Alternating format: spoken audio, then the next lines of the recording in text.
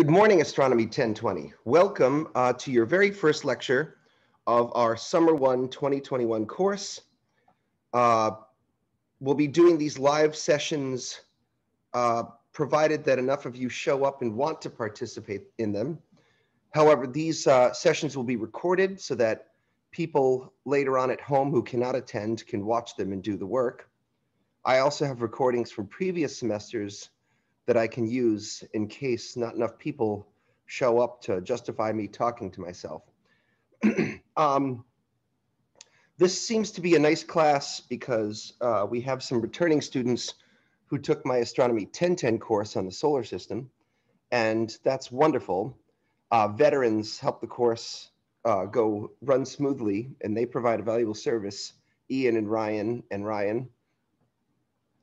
Uh, for the rest of you, we need to sort of start off with a discussion to make sure you know what you're about to do here in this class. So I guess I'm going to pick on Brooke and Sage a little bit. You guys are up, okay? You you you volunteered yourselves right out of the starting gate, which I'm sure you're very excited about. So let's take a look at a little picture together. And this goes out to Brooke and Sage because, you know, the other folks are supposed to know, having experienced my presence in the past. Uh, Brooke or Sage, can you tell me what the difference between astronomy and astrology is? Doesn't have to be fancy. You just have to tell me simple things. Sage, you're muted. Sorry. Um, I didn't know if it was just like a go for it, but um, uh, astronomy is the study of like outer space and the galaxy and all of that, and astrology is uh, pseudoscience that's um, basically like your uh, personality and characteristics and everything are based off where the stars were when you were born.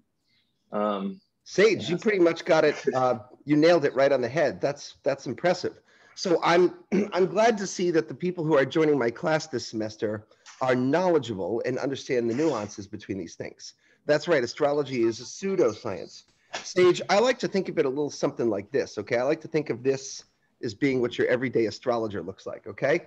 So this is a picture of an astrologer, and the message of astrology goes, everything's gonna be great, you will be rich, okay? Um, or we can take a look at what an astronomer looks like. Do you guys know who this is? How about I name my students from last semester? Didn't write it down. This is Edwin Hubble. He will feature more in this uh, semester's lecture than in last one's, if we can get to enough galaxy stuff. Uh, he discovered the expansion of the universe by measuring the velocities of galaxies relative to the Milky Way. Uh, it's kind of a cool claim to fame to discover that the universe is expanding. Uh, the message of astronomers is a little bit different. It goes, the world is going to end when the sun enters its red giant phase you can see that the message of astronomy is not quite as uplifting as the message uh, of astrology. People get these things confused, but they're a different caliber of subject, as Sage has pointed out. Uh, astronomy is a physical science, or maybe a natural science. And as such, when you want to publish a theory in this subject, you have a high threshold of publication.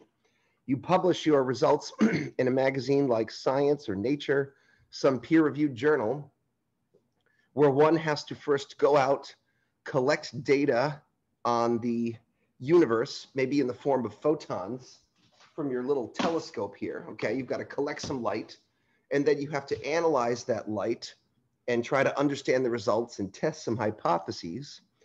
And before you can publish your crazy theory about the universe in a in a journal like Science, you've got to you've got to submit your work to a body of enemy professors who are out to get you. And after they comb through the material looking for any flaws in your methodology, only after you've satisfied them, your enemies, are you allowed to publish in this type of magazine. Most of the time, when you read your horoscope, you're reading it in a popular newspaper like the Providence Journal or even the, the Washington Post probably has an astrology column. Uh, or you could read it like the kids do these days on their CoStar. I am not sure what the threshold for publication is for a magazine like Dell Horoscope. I think you probably just show up and you have the energy crystal on your forehead and you tell the editor that you're mad in touch with the stars and they say, I love it. You got your deadline on Tuesday, 25 cents a word.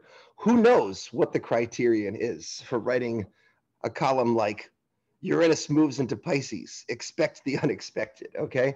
Um, now, it doesn't seem like it's going to be an issue in this class, which allows us to move a little quicker today. I often dictate the speed of my course based on the sort of responses I get from students. And Sage pretty much explained exactly the difference between these two things, which means I can put this into sort of high speed. I don't have to go slow with you guys. Um, I was worried that perhaps you guys might get these things confused because they both have to deal with constellations and stars, but they're very different subjects. You guys know what this thing is, right? What am I looking at here?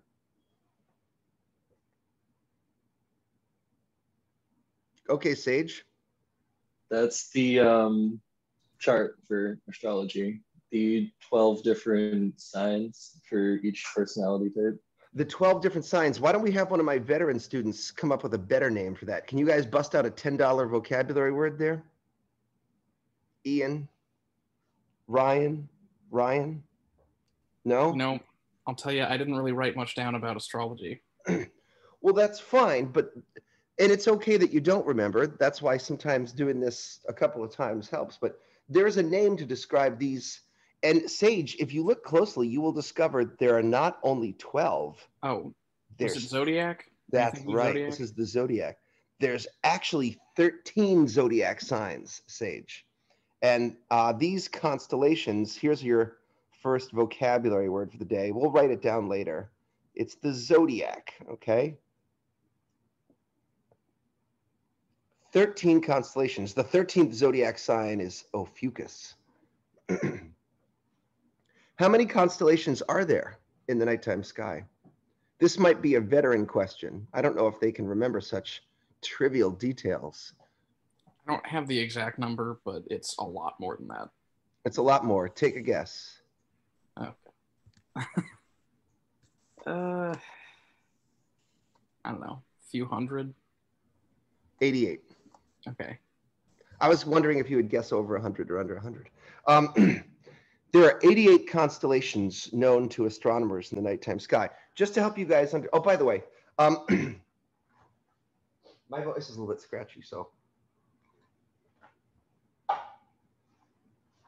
From yesterday's um, class that I had with my solar system course, uh, not everyone understood the best way to use Zoom during these classes anyone watching later on is kind of stuck with whatever I do. But for you guys watching live, I'd like to just point out that in your upper right hand corner of your screen is a little button that says view. and the way I like to do things is when I'm talking to all of you and you guys are responding to me, I like to put it into gallery mode so we can all see each other's faces. From time to time, I might do a demo or I might take some notes on this board here. We're going to take a lot of notes and you should write down what I write down. For note-taking purposes, you should switch your view to speaker view and then make sure you double click on my face so that the board will be large on your screen. I just wanted to point that out because not everybody out there is kind of familiar with how to best use Zoom. So let me know, ask a question if you get uh, a little confused about that.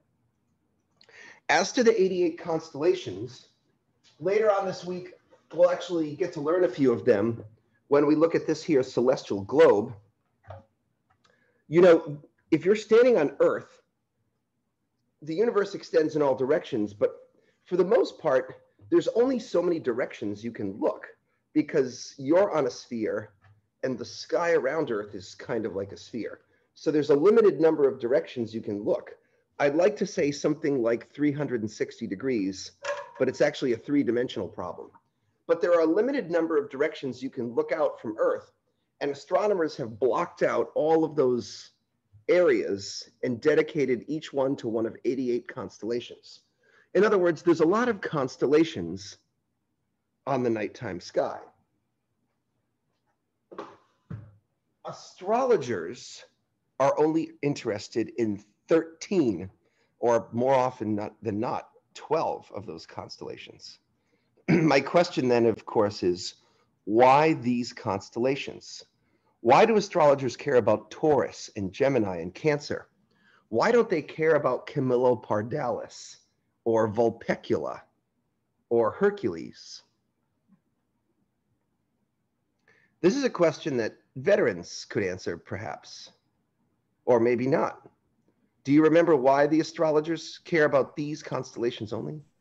Um, Didn't if I remember correctly, it's because the sun passes over them. That's exactly it. um, I don't know what someone else was going to, uh, but anyways, Ian, you kind of nailed it. Okay, so if you look at this other slideshow, maybe around slide, I don't know, 56 or so. Let's see. Uh, here we go. Yeah. Oh, here. Earth orbits the sun on something very close to a perfect circle. And as you can see in this diagram, that circle maintains a kind of fixed orientation in space.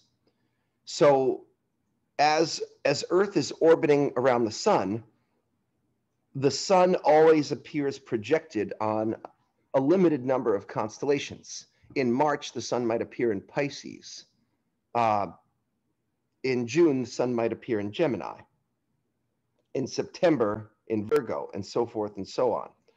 So these constellations are important to astrology because of the central premise. Let's go ahead and we'll just take a couple of quick notes on this. But basically, I'm, I'm just going to reiterate what Sage said because he kind of did it right. So we have astronomy versus astrology. And we'll keep this quick, but I do think it's worth writing down. Uh, which one of these markers is my good one? I think this is the good one. so for astronomy, we would have the study of stars, planets, moons, nebulae. Nebulae are clouds of gas in space. We'll talk about that. Uh, galaxies. Did you know that there's a branch of astronomy called cosmology? And the purpose of cosmology is to study the entire universe as a physical mechanism. Now, think about that. I mean, gee whiz.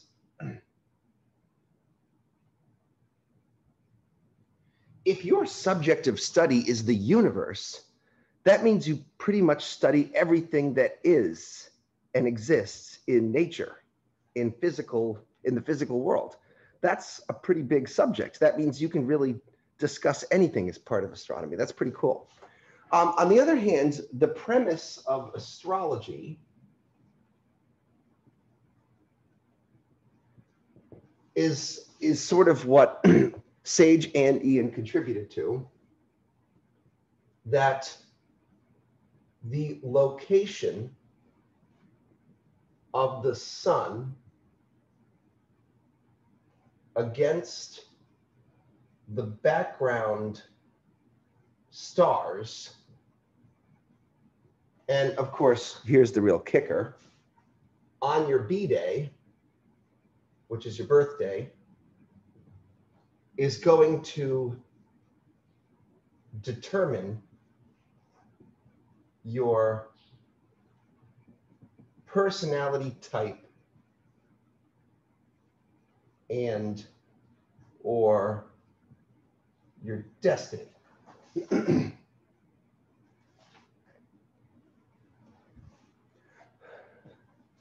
now, in yesterday's course, when I talked to my students, one of them tried referring to astrology, because let's face it, astrology has some mystical kind of vibe to it. You know the types who want to ask you about your signs. That's the hippie chick who's got the, you know, sage and the burning in her room and and you know exactly right. Um, and I have many friends like that, so not to get you know too discriminatory here, but but the types are a little wee woo wee woo, as my ex girlfriend used to say. You know, so. Uh, so someone in yesterday's class, because of that, referred to astrology as like a religion or a mythology. But in philosophy, there's a difference between things like like science and religion. They're not, they occupy different psychic domains. Astronomy is what you would call a physical science. A physical science is something like physics or chemistry. And that's where you, you know, go out and you you take something and you put it into an Erlenmeyer flask and you set it on fire, you manipulate your environment, you test hypotheses. In a physical science, you're you're grappling with physical substances. Uh, but astronomy also has aspects of a natural science, like geology or, well, I don't want to say biology because the biotech universe is kind of more like a physical science these days. But in the olden days, if you were Charles Darwin on the on the HMS Beagle and you were counting one, two, three, four Galapagos turtles, usually don't take the turtles and put them into an Erlenmeyer flask and set it on fire. You're more like the passive observer who's looking out and counting things in nature and then trying to deduce your theories. Of course, astronomy has aspects of both. Historically, it was more of a natural science and it still maintains that kind of old school classy edge. But today, of course, we have robots, tanks traversing the surface of Mars and shooting rocks with a laser gun. We have satellites like the Parker Solar Probe that are flying through the atmosphere of the sun to sample plasma particles. If that ain't a physical science, I don't know what is. but things like religions and mythologies, they occupy it. So astronomy, physical sciences, they're concerned with the physical world.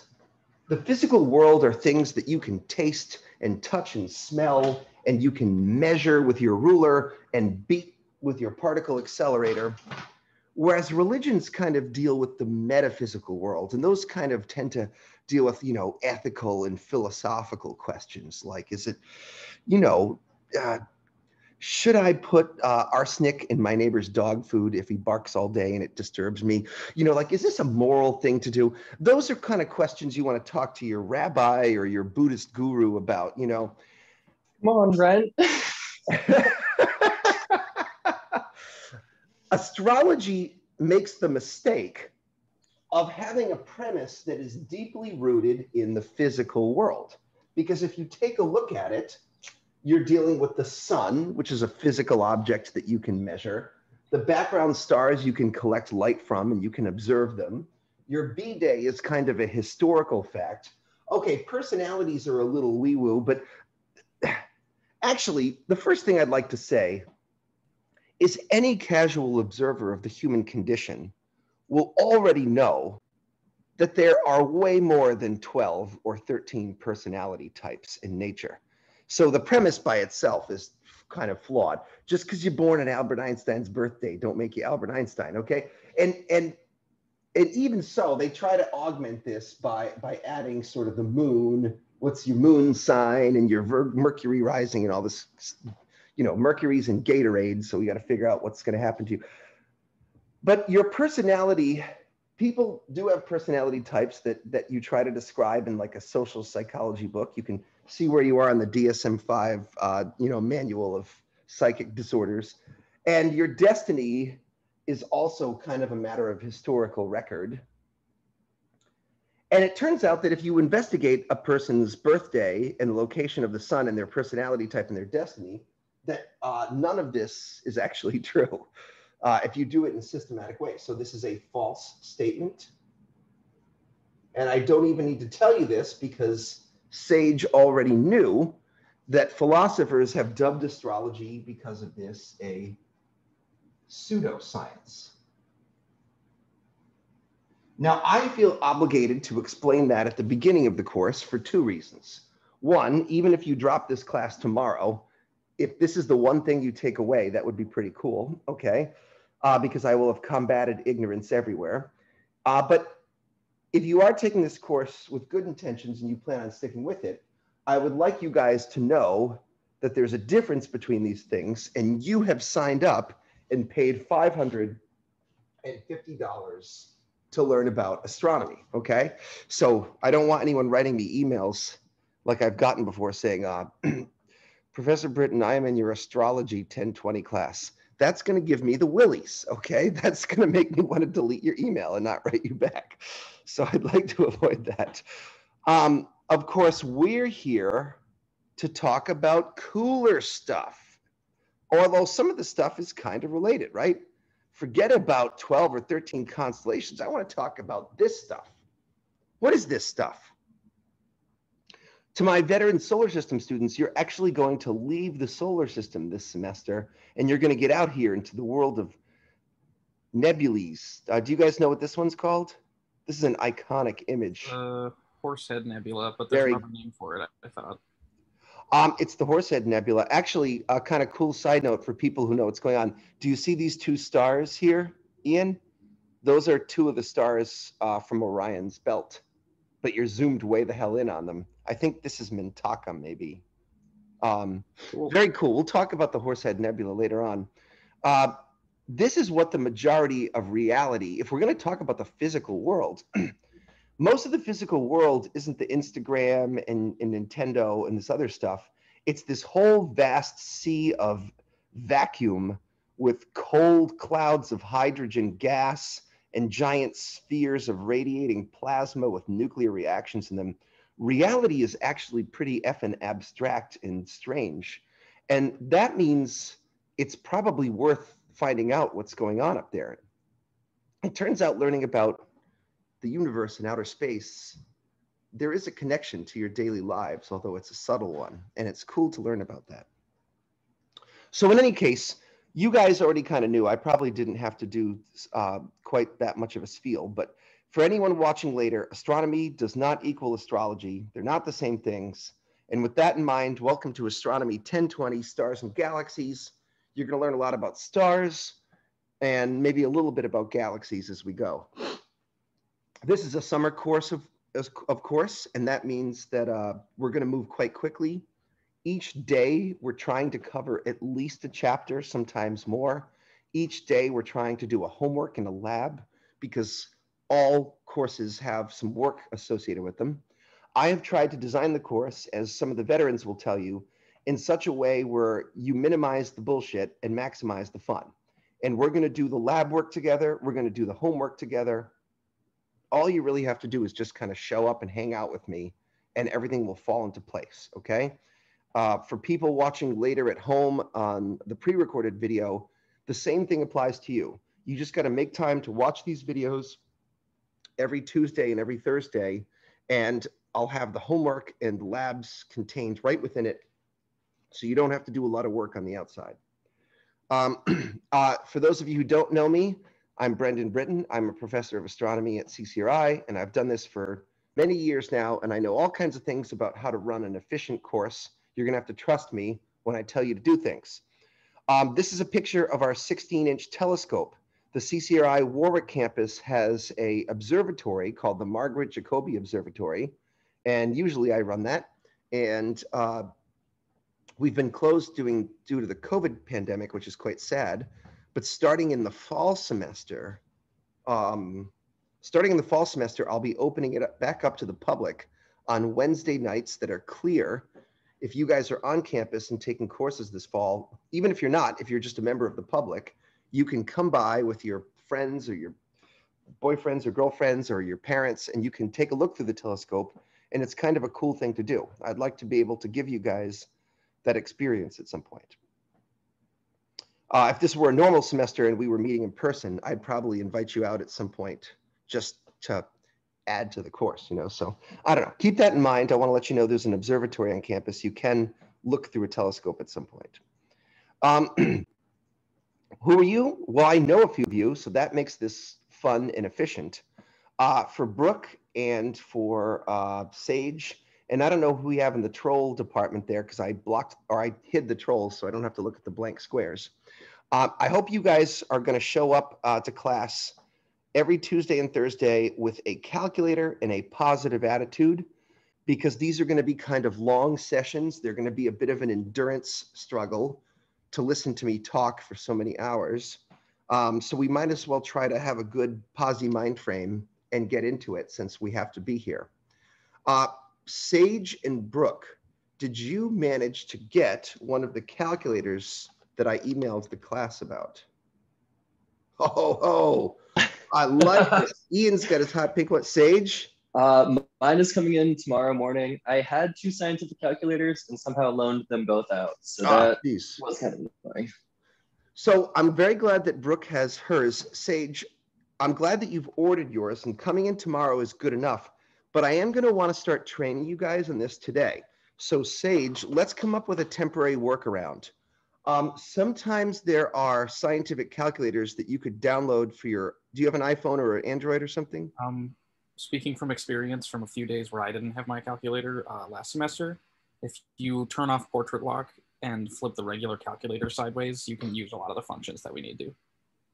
Um, that's cool, Ian, and I'm glad for that contribution. The one thing is the buttons were a little bit different. Honestly, Yeah, I've got that this was one. the only weird thing. Um, there is one app that's closer to the Casio FX 260 Solar than others. Do you remember which one that was? Uh, what kind of phone do you have? Uh, do you have a phone, Sage? Yeah, I have a Google Pixel. Um, Go uh, if you have an equivalent of an app store. Just type Casio in and see what comes up. I know that. Um, a lot of casino games, surprisingly. wait, Casio yeah. casino games? Weird. Like It's- I'm looking oh. at this, wha- what do you see? I don't have one of those Droid phones. See, like I can see, I can see things that might look pretty close to a standard scientific calculator. Just could you yeah, just could you download some free? Do not pay for it. Yeah. Download a free scientific calculator app, and it would be sure. cool. It would be cool if it looked as close as possible to this. yeah, for sure. And um, I am also I took a peek at the homework. I'm also pretty comfortable with the scientific me- method, um, honestly. So I am Okay, well, then okay to that- follow along. that that that makes me feel good and if you've had some training i do appreciate that. Um Sage you're going to discover that in this class even for those that do have training i kind of have persnickety particular ways of doing things and if you would be so kind i'd like you to try to adapt to my methods. My Oh, methods may end up being the same as your methods so then we will have no uh, daylight between us. But just in case i find that you know what mr miyagi says in the karate kid? He says if you know like uh, um, a, a lot of karate you're on the right side of the road and you're safe. And if you know a little karate you're on the left side of the road and you're safe. Or sorry if you know no karate you're on the left side of the road and you're safe. But if you know a little karate you're in the middle of the road and that's no safe. And the same is kind of true with a little bit of training here. Some people uh, have had like a calculus course or some physics courses but the way i do things is stru- just structured a teeny bit different. So uh, we're going to do the homework together. Even for those of you like sage who have training and might know a little bit about the subject sage i'd still like you to do the homework with me mostly, for, mostly for style purposes. A lot of this is about formatting and style and you'll see that there is some logic to that. But okay that's great. I basically the reason i want you to have that calculator sage is we're going to do in-class exercises here today and i want you to be able to punch along with us even if it's child's play for you. That's the only thing i'm thinking about okay? Okay so what are we here to do? We're here to learn about the universe and the universe is a cool place. For the most part this course is concerned with stars. If this course had only veterans in it veterans from 1010 who had learned the basics of astronomy and some background physics, then I could start on day one with stars. But because these courses do not have prerequisites and they're a mixed bag of people, we're going to have to do some fundamental astronomy background stuff and some basic physics stuff for a couple of weeks. For those of you like Ryan and Ian who have taken my solar system course and are trained, and maybe even for people like Sage who have had similar courses, I have discovered from past experiences that even you guys can benefit from a little going over there. It does mean, however, that I can move faster, and faster means I can cover more weird and wacky stuff towards the end of the semester. And that should be fun, okay? Um, I don't want to go so fast as to blow anyone out of the water who has not had a science course before, because there will be some people like that. This course probably has about 28 people. Obviously, only a few of you guys could show up, but we want to make sure this is a pleasant experience for those who are a little less well trained as well. Um, in addition to learning about stars, we're going to talk about the sun. I'll try to throw in stuff on galaxies as well. Uh, this being a summer course, we don't get to do quite as much as we did during the fall, which is a little sad. Uh, but we'll bet we'll get to concentrate on it more, and I'll throw bits about galaxy clusters and groups in as we go to make it fun. Uh, because this is a physical science course, as you guys have kind of figured out, there's going to be a little bit of math involved, maybe something about the level of an Algebra 1 class. There are no prerequisites for this course, so you do not even have had to have taken an Algebra 1 class. All you have to be is a reasonable person with a good attitude about life. You have to buy a Casio FX260 solar calculator, and I want everyone to have this calculator so that I only need one set of instructions and you need to be able to find the buttons that I tell you to and push them when I say go. And if you play along with me, even those of you who are not experienced in math will learn quite a bit as you go. So you just have to kind of come along for my ride. I do need everyone to get that calculator, even those of you who might be trained. Uh, it's quite important that we have one set of instructions each time I have to explain how to do something tricky. And as the class goes on, the, the things that I ask you to do will get trickier and trickier. So Sage, if you, uh, I'm glad you did buy this brand, this model. Thank you. Thank you very much. It only costs about eight bucks at Walmart. So if anyone is watching in the background or watching later on, pause this video, go to Walmart and buy this calculator for eight bucks. There are two variants of it that are actually the same. Um, there's the original Mach 1 version. Let me, uh, let me adjust my focus here. How did that work? Where's, they did something to the focus adjust button here. Okay. So this is the Casio FX260 version one. It's kind of steel gray. They also have a version that's white. That's the Mach 2, but they're exactly the same in all respects. These have all the buttons that we're going to need in an easy to locate place. I also like that it's cheap and that it's powered by the sun. That's both symbolic for our astronomy class and uh, it means it'll never die on you during an exam. It's a great little calculator. Ian, show them the hot pink model. If you're feeling yeah. frisky, you can even get it in hot pink. Okay. For some reason, when I went on Amazon to get mine, the the original color was like twelve dollars, and this one was eight. So I was like, okay. All right, sure. hot pink it is. Yeah. Why not calculate in style, right? Okay, I like it. Um, but those three calculators that don't get. Uh, there are other Casio calculators that I don't want you to have. Um, like this is a Casio calculator, but it's just not the same. It's a line entry calculator. It's it's actually just too much. It's vulgar. Okay we don't, while this is a fine calculator under normal circumstances, their use of scientific notation is not as elegant as the Casios, okay? If you get your own calculator, you're on your own. Um, don't complain to me if you get lost. Uh, okay, so before we get into today's lesson on astronomy, we kind of have to do that little rules of the road thing so that you guys know what I expect of you and how the grades are going to be determined during this semester. So let's go over a bunch of business uh, for a few moments about how the course works. Let's talk about the classroom system, okay? Uh, if you go to Blackboard, you can find the syllabus and the schedule here under this tab on the left. And I've kind of downloaded them here. And uh, the syllabus is the first thing that we want to take a look at. It's mostly just fluff.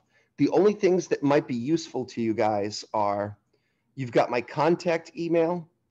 This is my cell phone. You know, in a normal class, you'd be able to come to my office and talk to me.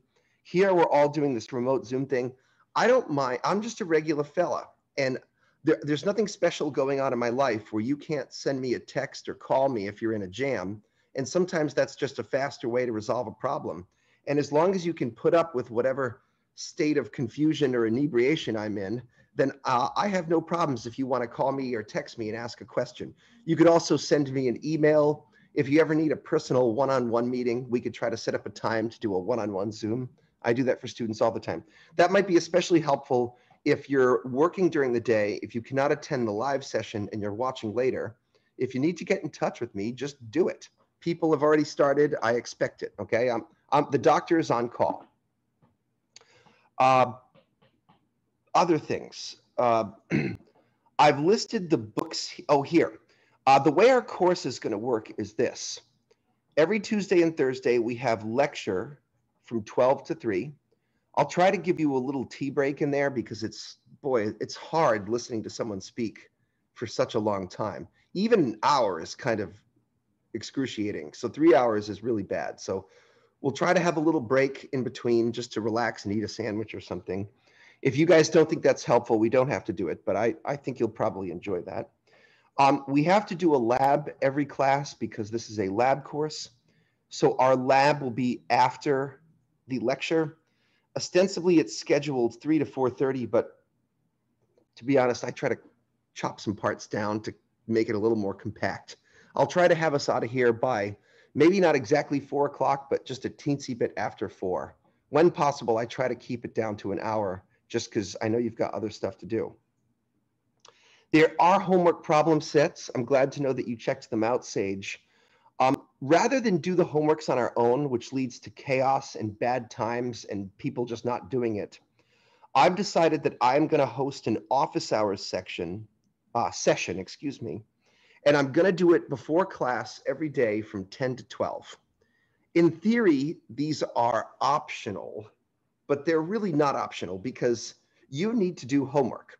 If you do the homework on your own, it will take you longer than two hours and it will be less fun and it will be stressful and you'll probably do a bad job and upset me and I'll give you a bad grade. If you do your homework with me, it will get done faster, more efficiently, it will be perfect and it will help pump your grades up. And we'll even have a tiny bit of fun. Well, you know, fun. It won't be like taking a roller coaster ride, but it, it will be as, as littly unpleasant as possible. And what's great is once you do your homework with me and you do your lab with me, you've got all your work done for the class. I'm not going to ask you to write a term paper or work in a group project. It'll all be kind of contained in the can, and then you can focus on your life outside of that. If you can't, oh yeah, questions. uh, are the homework session's going to be recorded? Of course, absolutely. Ian, you know what's funny? I already have the homework sessions pre-recorded from the previous semesters. And I could just kind of dump those on you, but since some of you, and we should talk about that next, those of you who have showed up seem to be suggesting to me that you appreciate the live experience. And that's a service I'm happy to provide. Technically, this course is an asynchronous course. The videos are recorded, I can deploy the videos and you guys can watch them on your own time and be responsible for the work. I have decided to redo the whole hamster wheel again so that you guys can have a live experience and kind of interact with me. The rule that I had in mind is that I would only do it if out of 28 people, at least five people would share video with me. Now here we have four and we have some trolls in the background. I'd say that's good enough. But listen, guys, if it gets to a point where you don't really care and you would just rather watch the pre-recorded video, I'd rather not do this for nobody's sake. You know what I mean? Like I, if I, asynchronous is great for me. I give you past me in a video and I go out and ride my bike in the sunshine. That sounds like a great deal. Okay. Now it's, it's not quite that simple, but it's kind of that simple. I am offering to spend this time so that you guys can have that live experience as if we were in a classroom. And if it's something you appreciate, then I'll do it. one or two people is kind of not enough to make a compelling video, or it just starts to be like, I don't know if this is worth my time. But if it's four of you, and if Ryan is going to get a camera, and if there's a couple of trolls that want to slink around in the background, I would call that acceptable. Okay, so Ryan and Ian already know the drill. That's why they're here. How about Brooke and Sage? Do you guys like that live experience? Are you just here to kind of check out what the course is about? Talk to me so I know what's going on. I mean, I'm about it. Uh, okay. Sage, I'm sorry, Brooke. Yeah. Brooke, what do you think? I like it. I like it better this way because it's like easier for me to understand rather than just watching a video. Yeah, it's kind of. I, I I think I would feel the same way. I think the live thing kind of forces you to engage. It's real time. You could yeah. ask the professor if you get stumped. yeah, I feel um, like I can best through like conversation, so this is much better for me. Yeah, I think so. I think so. I'm not sure. You know, one student that I asked a semester ago really made a compelling argument the other way. He said, honestly, Brendan, I kind of liked the pre-recorded video because I could kind of pause it and I could answer the door, get the mail so I can see both sides of the argument, but I want to provide this service for those of you who do like it. If something happens, comes up one day, like I got to do a really important errand, maybe once or twice I'll foist the pre-recorded video on you. But for the most part, if I'm hanging out at my house, I'm down to do this and give you that experience, okay? Um, let's just kind of go forward and see what happens. I hope you will forgive me though. If in in previous classes, there's like a lot of people that show up the first couple of sessions and then sometimes it drops off as shit gets real. If it starts getting down to one or two people, I might just say, well, guys, don't make me do four hours for two people. It's not even going to be a cool video, you know? So I don't know. We can horse trade as we go forward. You guys could talk me into just about anything. So just remember, if you cannot attend the live video, that's okay. You can watch these later. Ian, if for some reason you can't make the morning homework sessions, we could we could do those pre-recorded. You could either watch the old ones or you could watch, I'll try to record them each day uh, that I do them, okay? A note about posting videos. After this session is done, it's several hours long.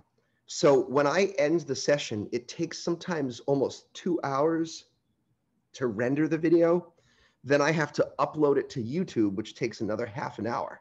So if the course ends at 4 p.m.-ish, I probably won't have the video up until at least six o'clock, sometimes 6:30.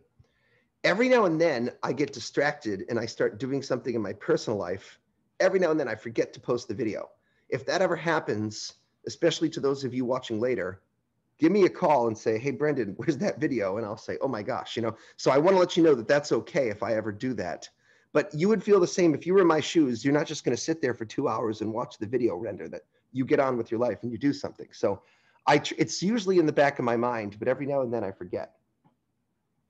Um, let's talk about doing work and homework stuff. Uh, so, so now you know about the syllabus a bit. Uh, we could talk about the books. Honestly, the only thing you really need to get for this course is the calculator. If you want to have a textbook, the book that we'll be following along with is the half version of the cosmic perspective by Bennett Donahue et al. You guys only need the, co the component that says stars, galaxies, and cosmology. This is the basic text. Now, there's a full version of the book, which you don't really need, uh, but it might be cheaper to get the full version of the book if you get it as a digital copy or as a three ring binder version. I don't know, just get some version of the book. The only thing you don't want to get is the solar system version. That's for my, uh, these two books, the solar system and stars, galaxies, and cosmology, are part of the complete text, the cosmic perspective. I've got a copy of it somewhere around here. So either get the complete text or get the stars, galaxies component, whichever it makes more sense for you. I actually have the homework. The homework comes from the book, but I've scanned the homework problems. So I've provided those in the homework session, uh, section rather. Um, the more important paper that I have to share with you guys is uh, the, the schedule. The schedule is a really important document because it kind of tells you what we're going to do every day, and we should follow along with this grid to understand how the class works. Today's Tuesday, May 25th, lecture on numbers and space. We're going to cover chapters one and two, kind of. These are the five homework problems. I am going to do those with you on Thursday from 10 to 12 provided five of you show up to do them, okay? Uh, or this many people is okay too. Uh, the first lab we're going to do today,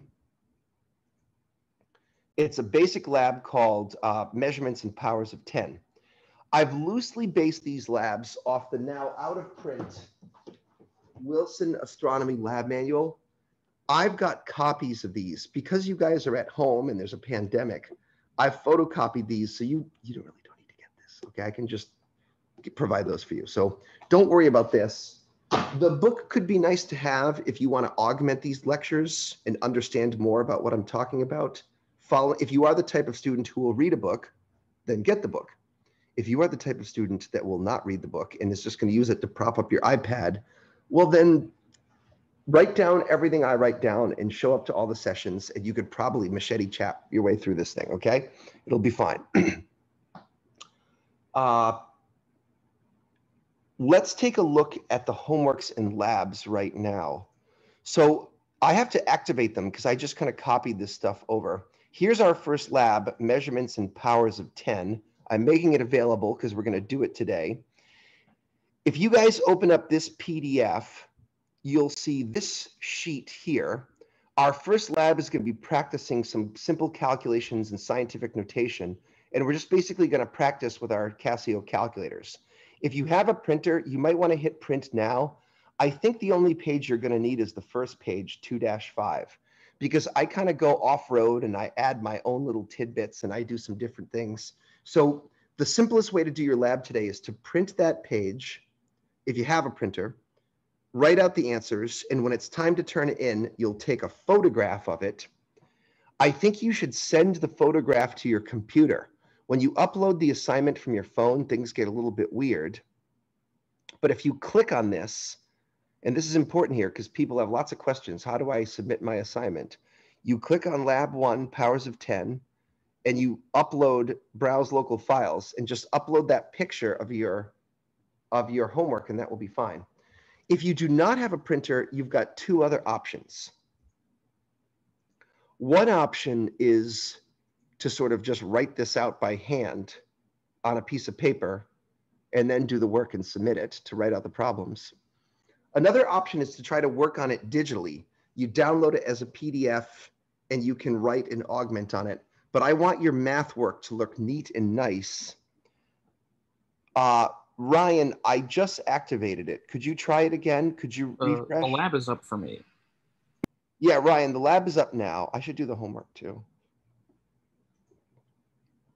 Sorry, guys.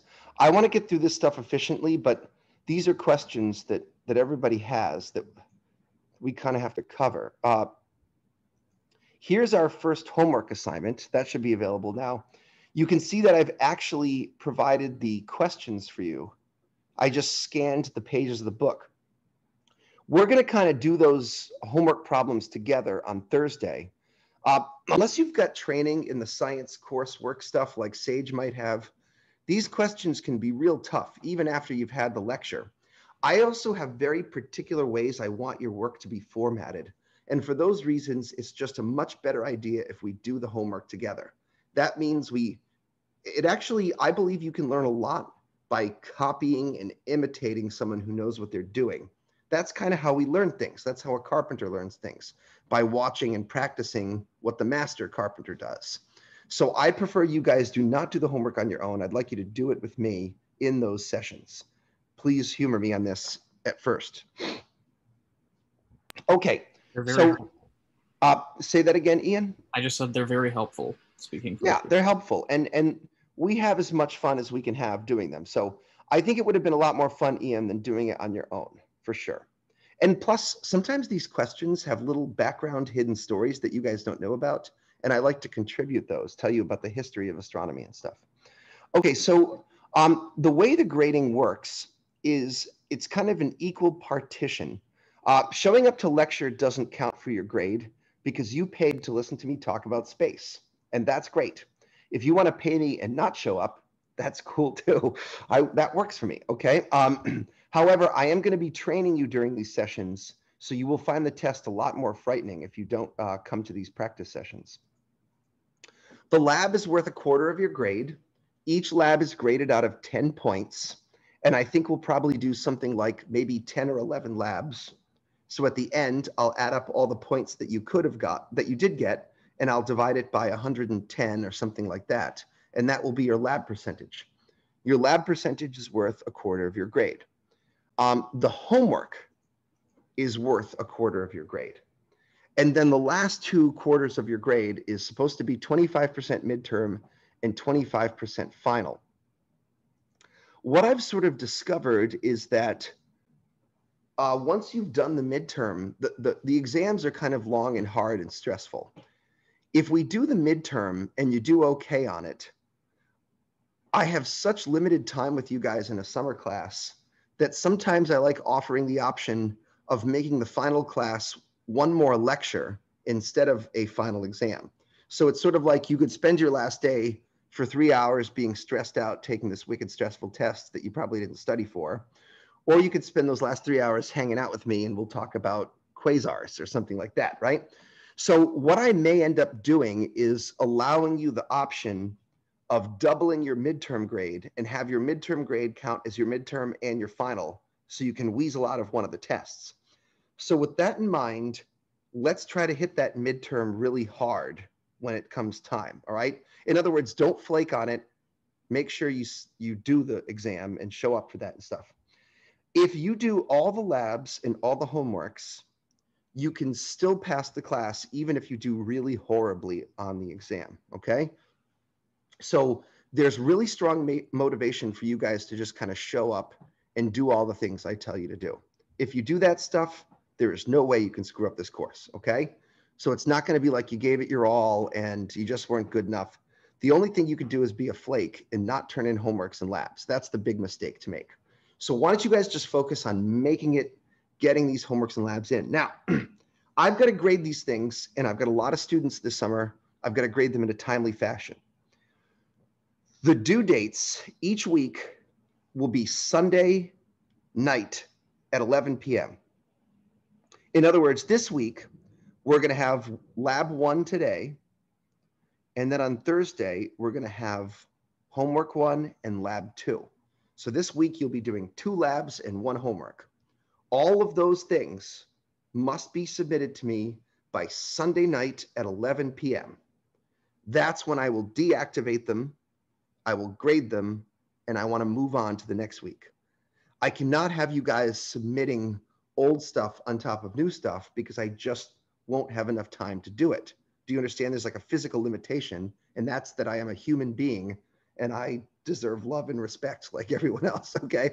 So I think even if you're watching the recorded videos later, if I post them on Thursday, Friday, Saturday, Sunday, that should be enough time for you guys to squeeze out two hours to do that. Does that sound reasonable?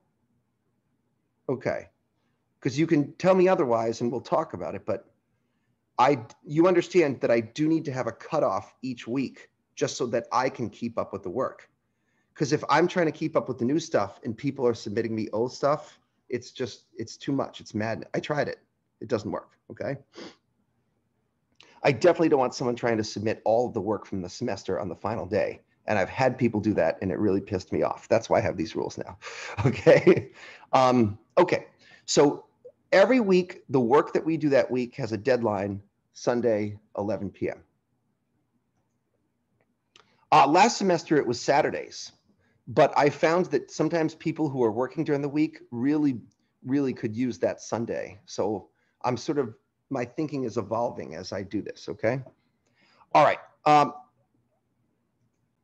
luckily, I'm not an art teacher.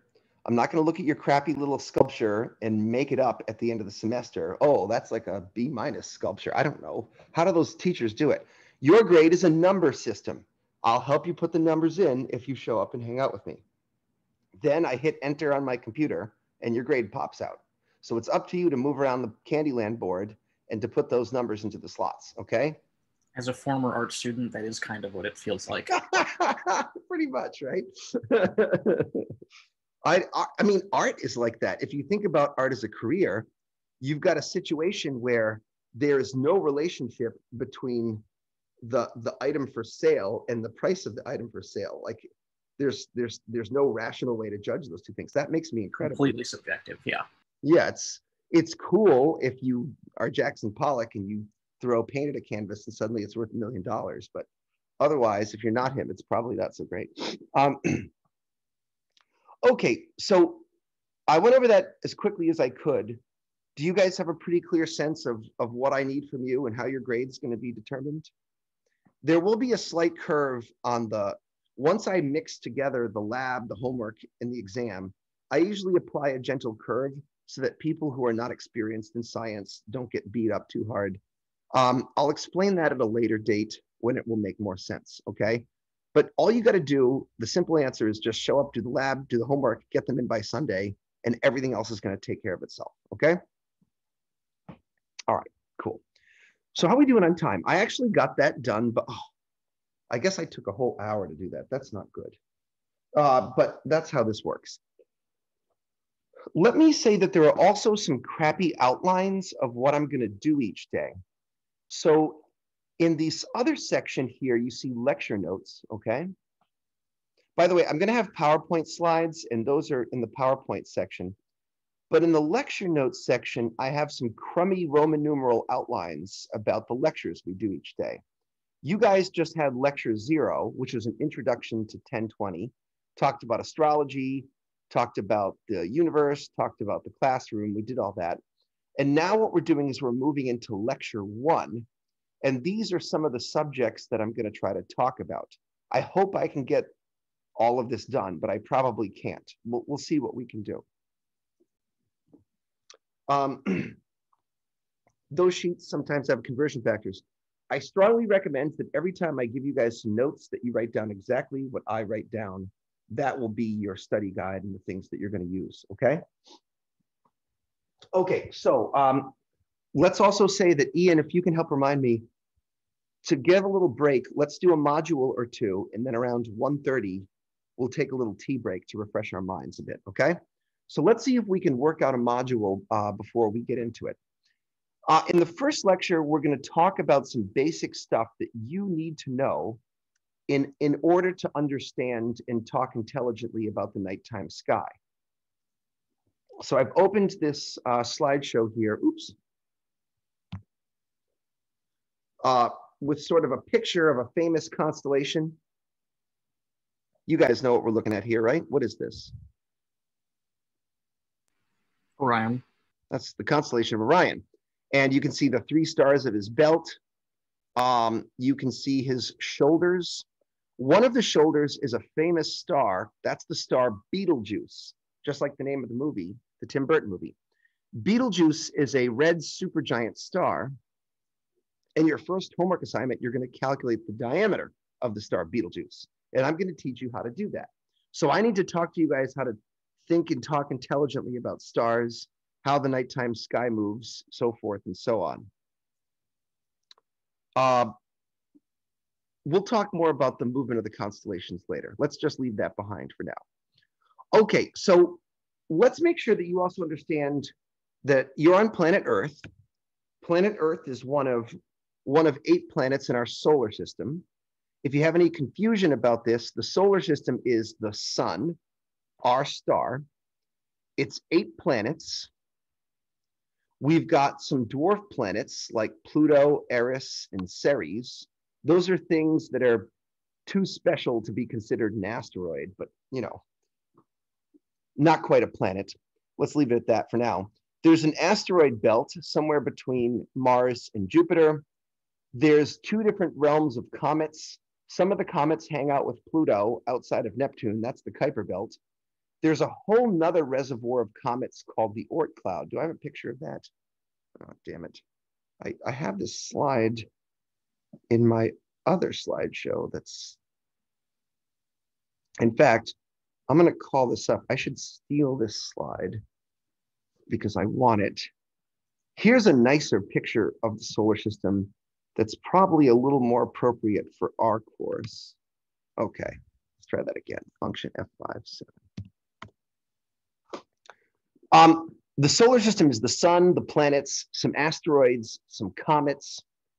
Um, the, the solar system sort of ends at the boundary of the sun's magnetic fields. We call that the, the heliosphere or the heliopause. There are some comets that exist between the sun and the nearest star to us, Alpha Centauri. What happens if we leave the solar system? Where are we then?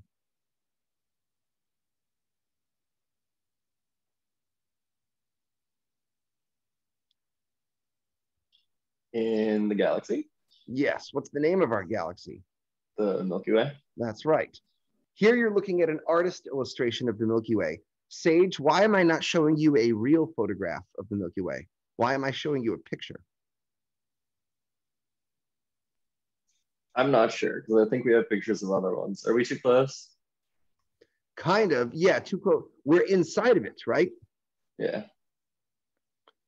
If a ladybug is on a leaf inside of a forest, she can't take a picture of the entire forest because she's in the forest, right? Now, in theory, a ladybug could fly away from the forest, but we don't have enough time or the technological capability to leave the galaxy. It's too far and you'd have to move too fast, okay? We do have pictures of other galaxies, but ironically, Sage, the only galaxy that we can't see well is our own because we're inside of it. Now, Sage, I just lied to you. We do have pictures of our Milky Way galaxy, but they don't look like other pictures and you're not ready for it yet. At some point, I will show you a picture of the Milky Way. But as you're inside of it, it's a different kind of thing, okay? For now, we're just gonna look at this picture, or we could look at a picture of our sister galaxy, the Andromeda Galaxy.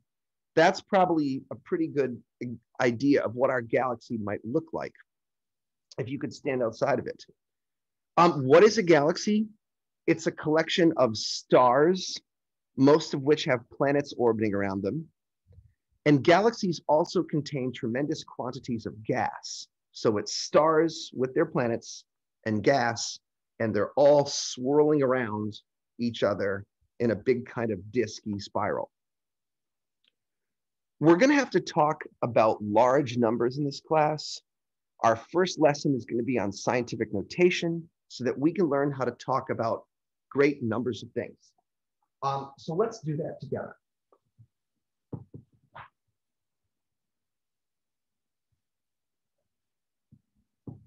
Okay. Lesson one.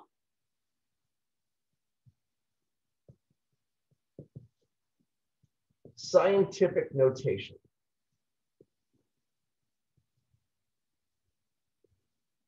I know that my veterans have learned this. Sage, Brooke, have you done this before? Definitely Sage has. How about you, Brooke? Have you ever done this? I like remember it a little bit, but Okay, not not not super confident. Okay. Scientific notation is how we write and how we talk about big numbers. Oh. Also small numbers too.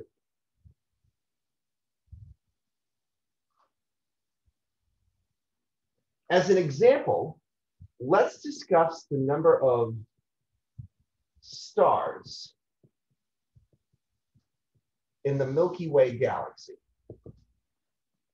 It's damn close to, well, it's not super close. It's just under 1 trillion stars.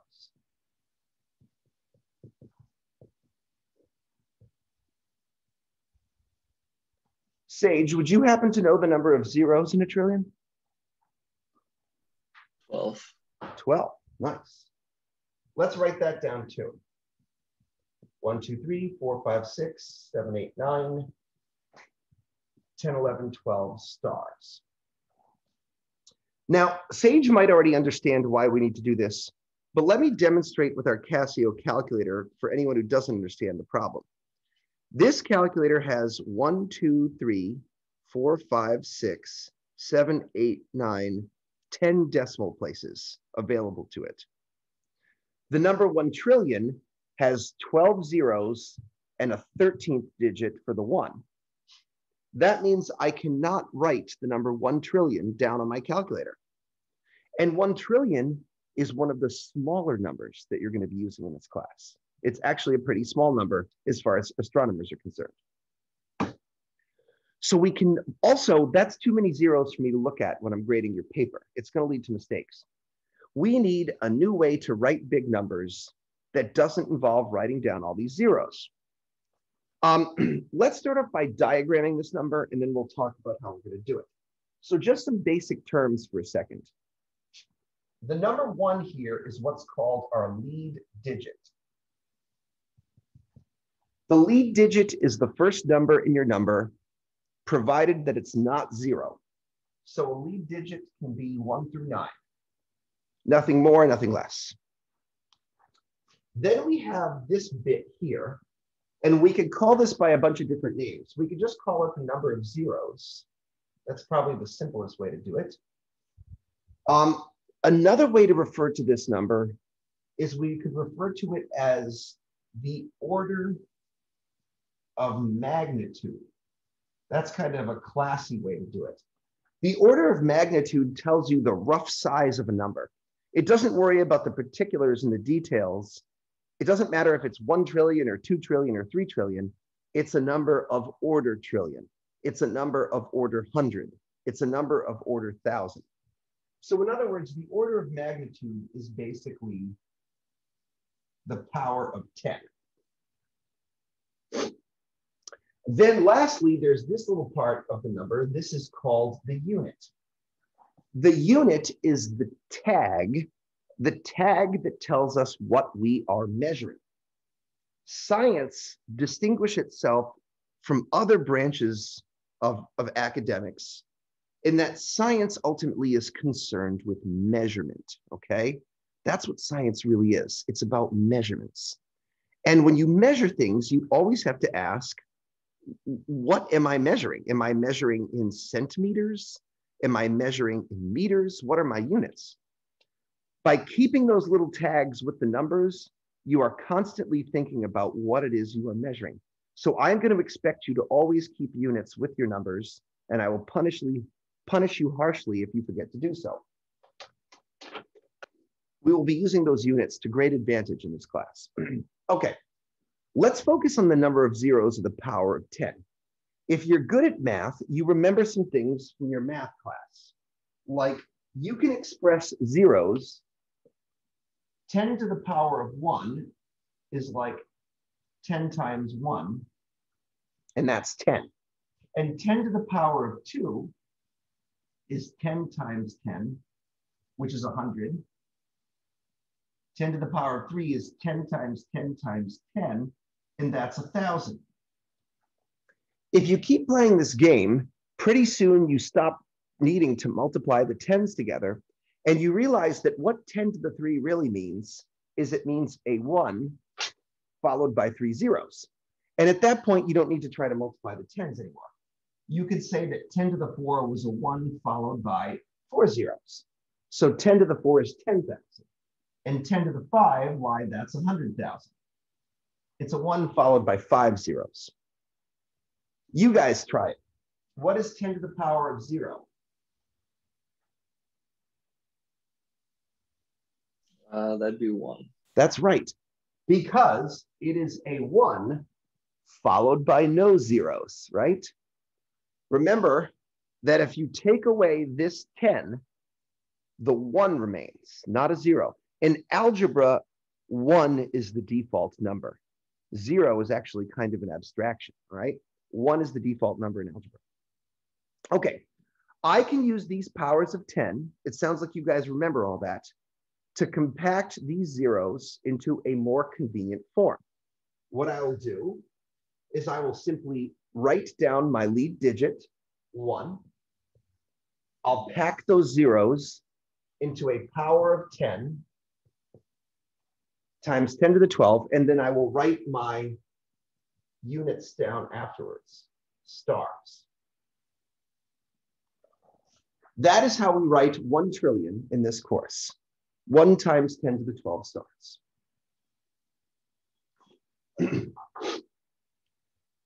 Would you guys mind if I erased this bit here? Brooke, have you caught up to us? Here I go.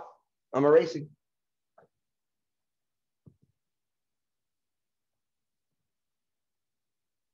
Okay, let's talk calculator talk for a second. To help us put things into scientific notation, calculators like this Casio have a conveniently uh, positioned key. Let's see if I can get my focus right here. Whoop, it's too close. It's really sensitive. All right, there we go. The EXP key is your scientific notation key. EXP means times 10, okay? So watch how I put in 1 trillion. 1 EXP 12. That's it. You will notice I did not type times and I did not type 10. I just did 1 EXP 12. Now the display shows a 1 with a little power of 12 out there. And that's because they didn't have enough room to put in the times 10. Calculator space is special. So let me explain why I'm telling you all this. On our calculators, you are going to type 1 EXP12. On your display, you're going to see one with a little 12 next to it. But when you write it down, it is your job to retranslate it back into proper math. And I expect you to write 1 times 10 to the 12 when it goes back onto your paper. The reason why I do not want to see you write this is because 1 to the power of 12 is not the same thing as 1 times 10 to the 12, right? 1 to the power of 12 is 1 times 1 times 1 times 1. And you do that 12 times. And that means 1 to the power of 12 is 1.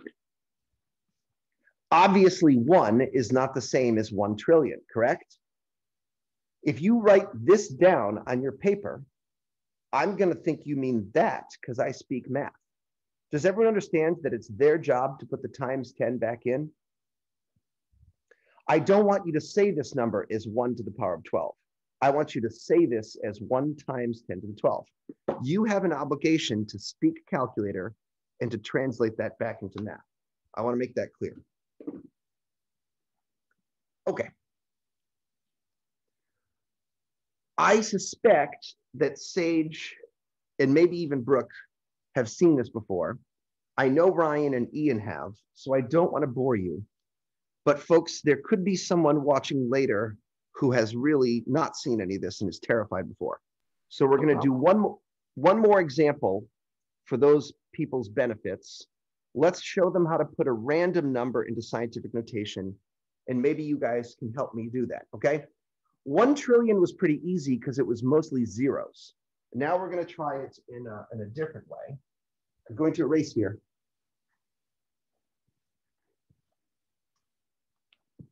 Okay, one more example, random number.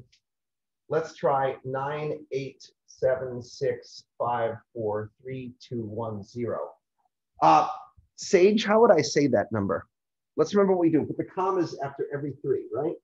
Uh, so that's going to be nine billion eight hundred seventy six million five hundred forty three thousand two hundred and ten. Okay, just wanted to make sure we could all do that. Um, I um honestly, I'm a math major. You do not need to pat a pace off of me. Okay, Um, I feel oh, that's that. yeah. major. That's great. Well, in some ways, Sage, that actually helps me because sometimes it's kind of cool to ask the person who knows the answer. That helps I me got my you. class up. Okay. Maybe I'm trying to do us a favor here. Okay. So, math major, why don't you put this into scientific notation for us? How would you do that? Uh, do you want to round to the hundredth or leave it exact? We're going to leave rounding out of now. See, here's let's talk about mathematicians for a second. mathematicians don't really they don't care about rounding because they're just lost in abstraction rounding is a very important part of science and we're going to talk about that but for now sage let's not do any rounding at all that should be very Okay. comfortable to a math person like you so that's going to be nine point eight seven six five four three two one uh, times ten to the ninth. ninth power now let's take a look at what he did now in a way you've got your lead digit You're going to keep the other numbers as if they were left over. I call it change. Okay, so keep the change. All right, so these these are numbers that you schlepp behind you. You're sort of treating them as zeros, as if they were zeros in the previous number. But what you're really doing is you're you're moving your decimal point. So in the original number, the decimal point was there after the zero. We have moved it up to now being between the nine and the eight. And to get your power, you just count the number of times you move. One, two, three, four, five, six, seven, eight, nine. Just that simple, okay?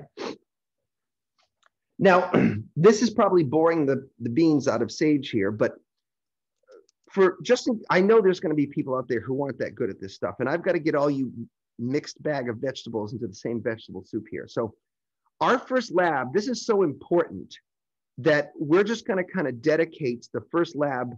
Well, we can go as quickly as you guys can, but we're just going to make sure that you can handle punching some basic things into your scientific calculator. I basically just want you to practice using your EXP key. It's just that simple. Let's come up with a rule in this class. Here's a rule. From now on, any number uh, that is greater than 1 million, and don't forget 1 million means 10 to the 6, okay? Any number greater than 1 million must be in scientific notation. I think for now, until you are trained, that's a pretty good rule to use, just good taste. If it's bigger than a million, fine. I'm totally cool looking at 555,000. You know, that's not a big deal.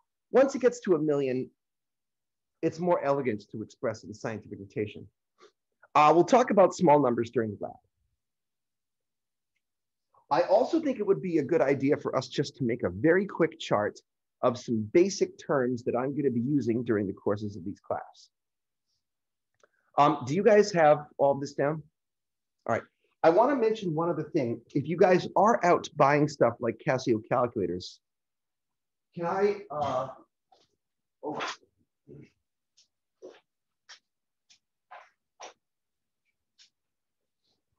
I'd like to make a recommendation of a couple of cheap things to buy for this class that I think would be a really good idea. And not just a good idea for this class, but I think these are tools that you should have around as a person doing academic work.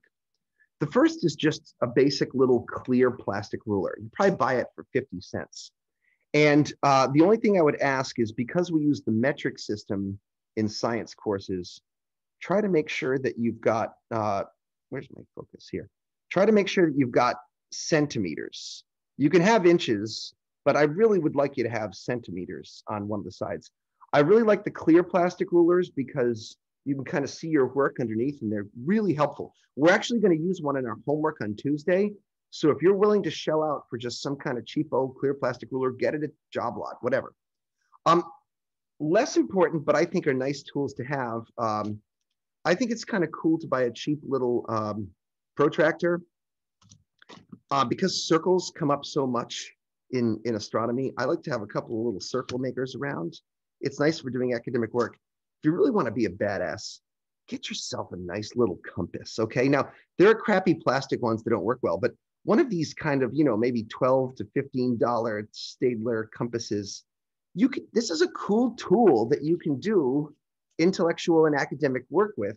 And it's just nice to have around. So if you don't mind shelling out another five bucks or so, get the plastic ruler, especially because you're going to discover that I love to make tables and charts and things.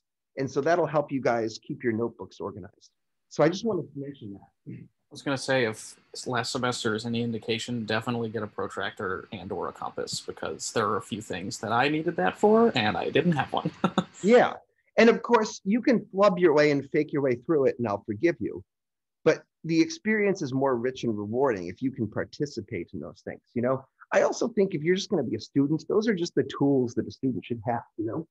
All right, so um, let's make a little chart so that people sort of know what I'm talking about. Uh, just some terms here, okay? Now, there are many more than just these, but I think these are some terms that for starters, it would be a good idea for you guys to know about. So one, two, three.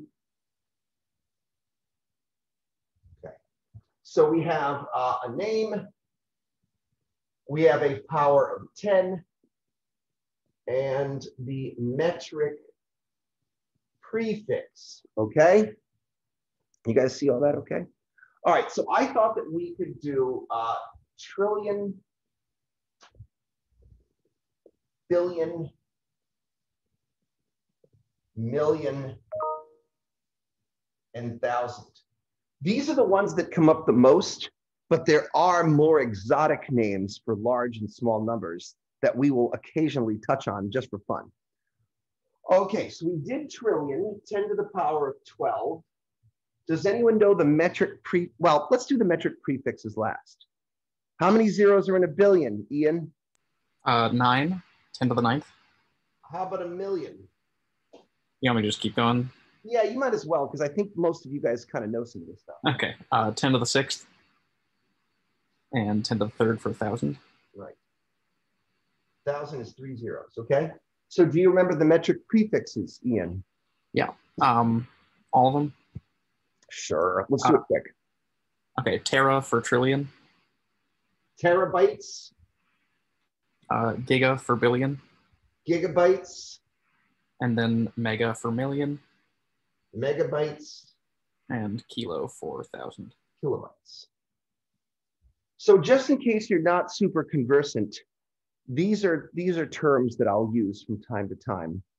And uh, don't worry if you don't know them yet. You'll just kind of learn them by accident as you go. I thought that could be a good chart. If I say billion and you're forgetting the number of zeros, you could secretly look at this chart and no one would be the wiser, okay? Okay, cool. Um, I'm glad we get the scientific notation thing out of the way. I'm sorry that I had to bore you all with it again, uh, but like I said, there could be people watching at home who haven't done this ever, and we need to make sure that they're they're playing from the same book as us. All right. So uh, maybe before we get into the next subjects are going to be more astronomy related, so they should be uh, better for some of our new students. It's 1:34 iPhone time. I've got another disconnect, but my my computer time is out of sync with iPhone time, and that makes me nervous. I don't. What do you have, Sage, on your clock? Sorry, you're muted, buddy. Yeah, I also have 134. I have the same. Where? Yeah, 134. Why is my computer clock all screwed up? I don't know. I'll solve that. different- If it's, huh? I know it was like this last. I fixed it for a while, Ian, and now it's unfixed again. Okay. Uh, if it's 1:35, why don't we take a break until like just before two, maybe five minutes of two or something. Good 20 minutes. Let us chill out, make a sandwich, do something, and then just before two, we'll come back and we'll do some more astronomy, and we'll whack that lab out. Does that sound good to everyone? You guys cool with a little break? All right. So what I'll do is I'm going to pause the video so I don't record dead air. And I'm going to mute myself so you don't hear me clanking around with dishes. But I'll still be kind of here in the room. So if you need to talk to me about something, give me a holler, okay? All right. So I'll see you I just guys. have- Oh, Sorry, yeah. I just have one thing before. Um, I have a doctor's appointment, so for like the second half after the break, I won't be able to be here. Okay. I just wanted to join for the beginning. So That's great. And I appreciate you you coming for the beginning. So Brooke, what you're going to need to do is you're going to need to watch the recording. Remember, I, I won't be able to post the recording until it's finished rendering, so it might not be until six o'clock or so.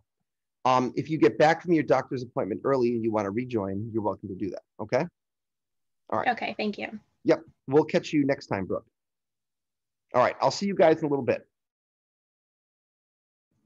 Okay, folks, uh, welcome back from tea break. We're going to do a couple more modules, some vocabulary terms, learn our steps of dimensional analysis. I'd like to get into some astronomy 1020 specific stuff if I can, see if I can do that.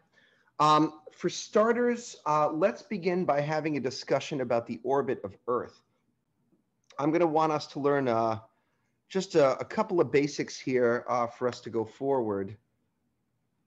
Uh, just a few vocabulary terms that'll be helpful. So um, in my hand, I have a uh, globe here. So let's get to speaker view. And we're going to be watching Earth spin from above. We can define directions in space, okay? Anything in the direction of Earth's north pole is going to be north in space. Anything in the direction of Earth's south pole is going to be south in space. If I were to spin Earth in the proper orientation, I'd want to spin it basically in the direction of Rhode Island, okay? So as seen from above, Earth has a counterclockwise spin like so. And as it orbits uh, around the sun, it also makes a counterclockwise revolution around the sun. And I've got a little slide for that too. So if we were going to look from the North Pole in space, uh, here we go. Um, it would look something like this, okay? So here we have Earth's uh, spinning on its axis counterclockwise. We also have it going on an orbit around the sun counterclockwise. Let's just take a couple of quick notes about this and learn a few more vocabulary terms.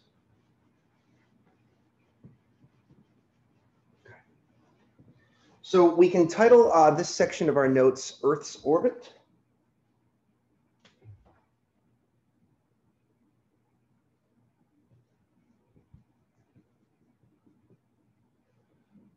We first discussed Earth's axis spin.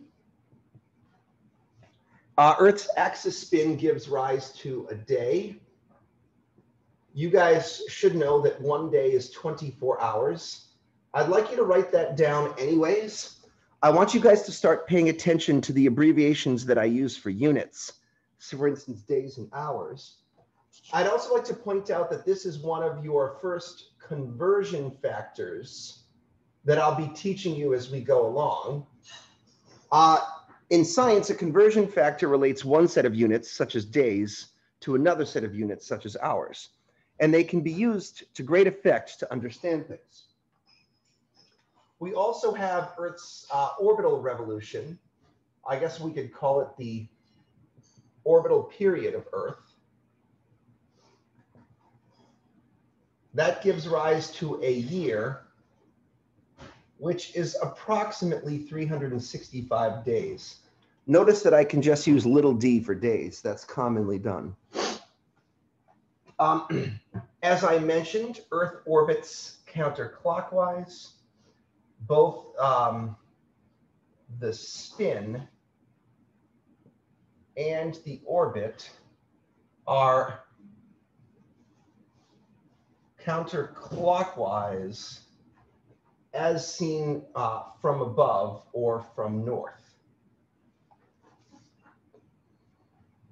Now, if I can define north as anything in the direction of Earth's north pole, and if I can define south as uh, anything in the direction of Earth's south pole, how do I do east and west?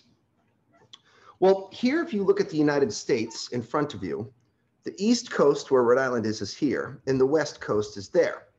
But if I spin 12 hours, now America isn't looking at my face. Now east is pointing over here to the right. But remembering, of course, that the Earth spins in the direction of the east coast of the United States, remembering also that the sun rises in the east and sets in the west because of the spin of Earth, we can define east in kind of a funny way that only makes sense to astronomers. From now on,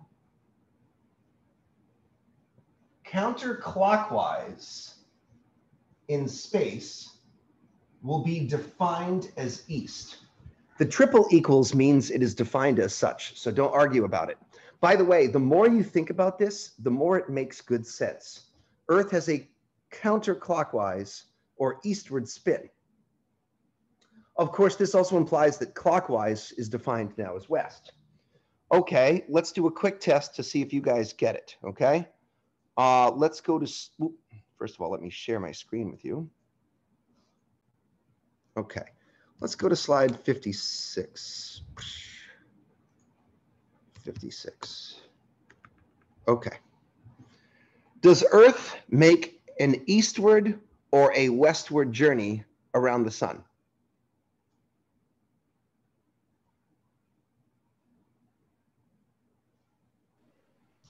That'd be eastward. That's it? right.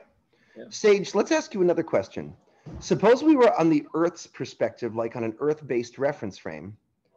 Does the sun make an eastward or a westward journey against the background stars? Use the diagram I've shown for help. Mm. I used to know this off the top of my head. I believe it's a westward journey. No, it is not. East west? No. Look, look at the diagram. In March, the sun is in Pisces. That's like a 12 o'clock hand, right? Now in June, the sun is in Gemini. That's like the nine o'clock position. Now in September, the sun is projected onto Virgo.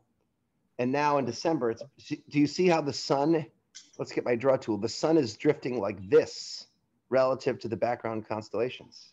Do you see that that? makes sense. Yeah, I was doing my like never eaten soggy waffles, trying to figure it out, but that makes no sense. But the better things to do was just to look at the picture here, right? Okay, that's all right.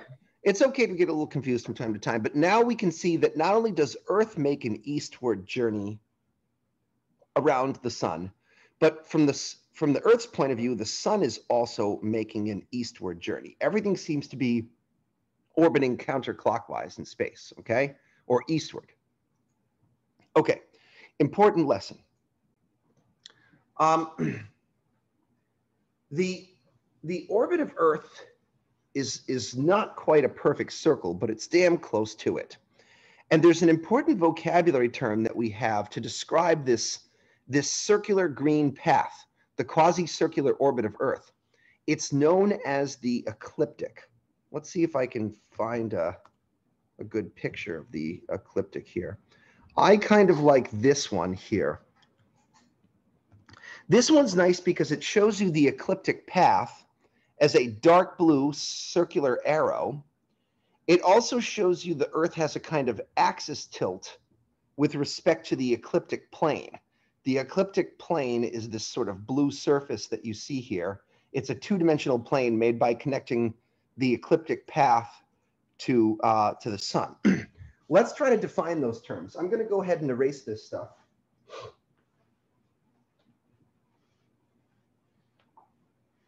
Okay, so we have uh, this new vocabulary term, the ecliptic. And the ecliptic has two definitions. This is definition number one. Simply put, it is the path of Earth around the sun. Nothing fancy about it.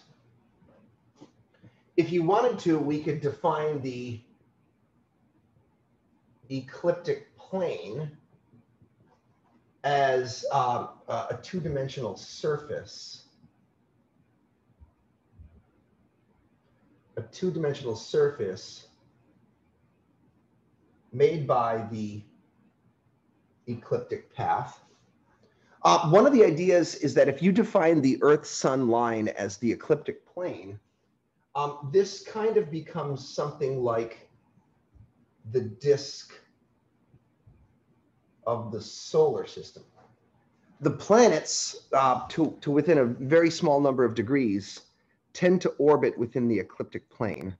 As a quick demo, I could go to Mr. Internet here and find the orbital inclinations of the planets. and uh, there's a couple of different ways to define the orbital inclinations, but this crappy little picture sort of shows us here. I don't love this, but it works. Uh, you can see that if you define Earth and Sun to be the ecliptic plane, uh, there we go. Um, planets like Jupiter and Venus and Mars are maybe one, two, or three degrees above or below the ecliptic plane. Um, notable exceptions, Mercury is seven degrees inclined to the ecliptic plane. So that means it kind of orbits seven degrees. That's a little bit bigger than the average planet. Pluto is extremely uh, inclined, but even then it's only about 17 degrees. Pluto is one of the most extreme uh, orbital inclinations.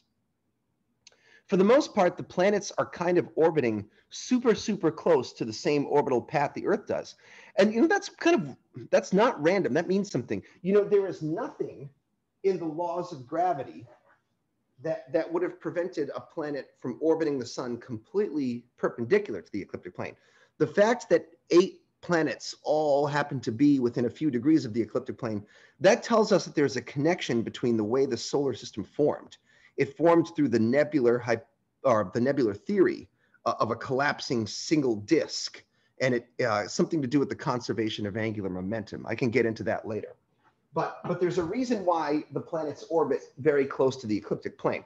So we can think of the ecliptic plane as the disk of the solar system. Now, as we just talked about uh, with Sage a moment ago, it's sometimes helpful to think about the solar system from the Earth perspective, because that's where you, the observer, is located.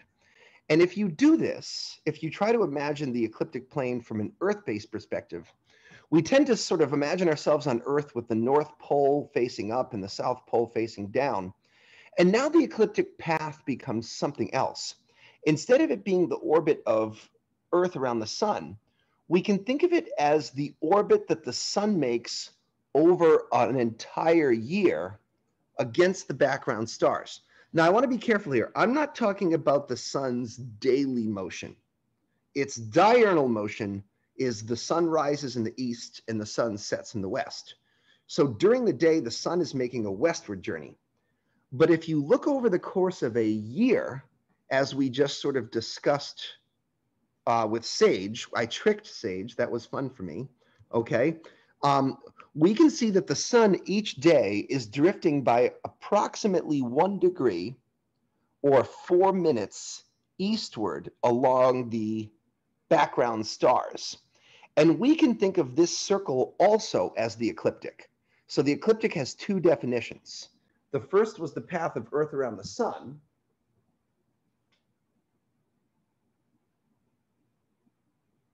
The ecliptic, definition number two, is the path of the sun against the background stars.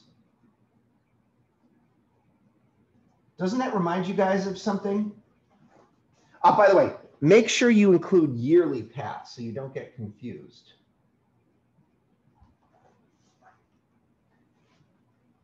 Does the path of the sun against the background stars remind you of something that we talked about earlier? Astrology. Astrology. And that suggests that the ecliptic, the path of the sun against the background stars, should follow the constellations of the zodiac. Zodiac. That's right. That's my next point. The ecliptic is the zodiac. If you are a working astronomer, you know where the ecliptic is because when you go out at night, you look up at the sky and you look for constellations like Pisces, Aries, Taurus, Cancer, Gemini, you know that those constellations are located along the ecliptic, and that's where you're going to find planets because that's also the disk of the solar system, right? So this stuff is all kind of connected. It's just about your reference frame. So the ecliptic is the zodiac, the ecliptic is the path of Earth around the sun, the ecliptic is the disk of the solar system, the ecliptic is where you find planets, it's a wicked useful vocabulary term. Um, it's also important to remember that as Earth spins around, uh, I don't know where that slide is again. As Earth spins around the sun, as it orbits around the sun, it has an axis tilt inclined 23.5 degrees with respect to the ecliptic. And you can see from this picture that Earth kind of maintains the same direction as it's spinning, that, that ecliptic is always kind of pointed, sorry, the axis tilt is always kind of pointed in the same direction, up towards the star Polaris, okay? So we can take this as a note as well. We can say that um, Earth's axis is tilted by 23.5 degrees with uh, respect to the ecliptic plane.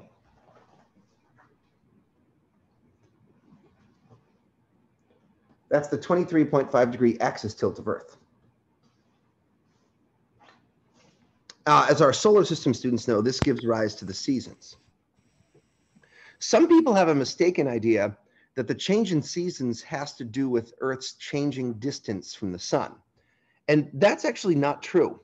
Um, Earth's distance does change as it orbits the sun by a very microscopic amount, but it is not enough to affect seasons.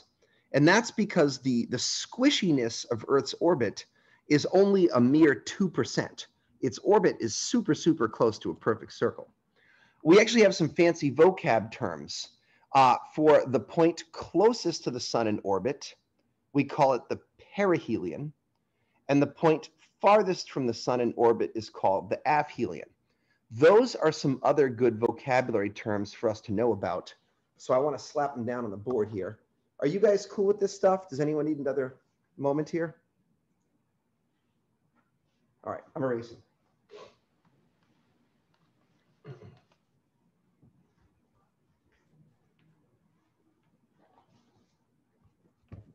Okay. So last couple of vocab terms we have perihelion,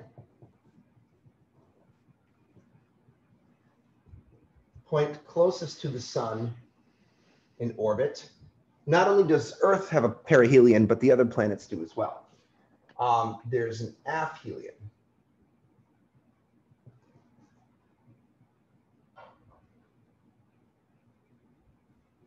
Point farthest from the sun in orbit.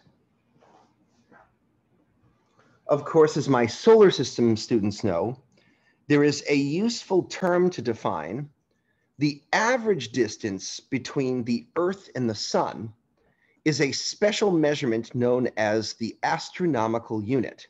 It is defined as the average distance between Earth and the Sun, and it is equivalent to 150,000, I'm sorry, 150 million kilometers. And let's just do a quick review of some distances, okay? So metric units of distance. This is a science course. We're going to be using metric units. In my hand, I have a meter. A meter is approximately the width of this dry erase board that I'm holding up here. It's kind of like a yard, but better, okay? The meter is our gold standard the meter is our gold standard for metric units of distance. Um, it's sometimes helpful for us to use kilometers. You guys, uh, one kilometers. One kilometer, one km, is equal to a thousand meters. But you already kind of knew that because you knew that kilo means 10 to the three. If you didn't know that a kilometer was a thousand meters, put a box around that conversion factor because we're going to be using that all the time. Kilometers are good for measuring the diameters of planets and stars. So uh, good for uh, measuring the radius or of planets and stars. Well, not all stars, but some stars. When we start traveling around the solar system, we're going to want to use bigger, larger units so that we can more eloquently express distances within our solar system. And that's where an astronomical unit comes in.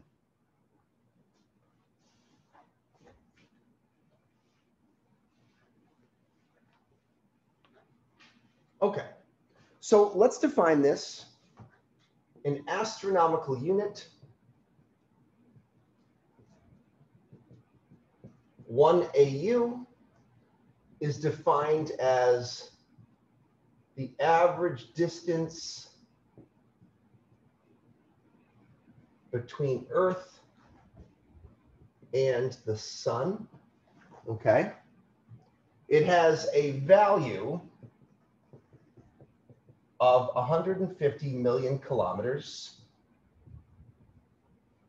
Um, Sage, we have a rule about big numbers in this class, right? What's our rule? Nothing bigger than a million. Okay, so why don't you help me slap that into scientific notation? So I believe that would be 1.5 times 10 to the 12th, Careful. 11th. Oh my God, I'm adding an extra one. Eighth. Sorry. uh, Say that? the eighth. Great. Come on. Sorry, I was adding an extra guy in there. Now, if you write an AU like this, this is what I call, I don't know if anyone else calls it this, but this is sort of the proper form of scientific notation, right? In proper form of scientific notation, you have a lead digit followed by some numbers after the decimal point. That's the leftover change. And then you multiply times 10 to some power. You'll often notice that the book and other people, when they put numbers into scientific notation, they'll kind of use that proper form with a single lead digit. It's also good to know that we don't have to use proper form. We could write an astronomical unit if we wanted to as 15 times 10 to the 7 kilometers. That's a little weird, but it's okay. All right. That's fine. I actually like to slide my decimal point. This is just a matter of personal style. I actually prefer to keep the decimal point slid back two numbers. And the way I like to write an astronomical unit is I like to write it as 150 times 10 to the 6 kilometers. And this, my friends, right here, this is good uh, math style. I'm always trying to jiggle around my numbers so that my power of 10 looks like a million or a billion or a trillion, because then it will kind of flow off my brain in an elegant way. 1 AU is equal to 150 million kilometers. So you might see me doing things like that from time to time. I don't want to scare you. The, there's weird, kooky reasons why I choose to move a decimal place to a certain point. And usually it just has to do with elegance and memorization. It's easy for me to memorize that 1 AU is 150 million kilometers. It's more awkward to memorize 1 AU is 1.5 hundred thousand kilometers, okay? But they mean the same thing. All right. Um, from time to time, well, okay, let's take a look at the astronomical unit in, in practice. It's really useful for measuring distances between the sun and the planets. For instance, you'll notice that Mercury is about 40% of an AU uh, from the sun, and Venus is about 70% of an AU. Um, Earth is 1 AU by definition. Mars is 1.5 AU from the sun. In the outer solar system, distances become more epic. Jupiter is 5 AU from the sun. Saturn is 10 AU from the sun. So, woo, sorry. Uh, Saturn is twice the distance from the sun that Jupiter is.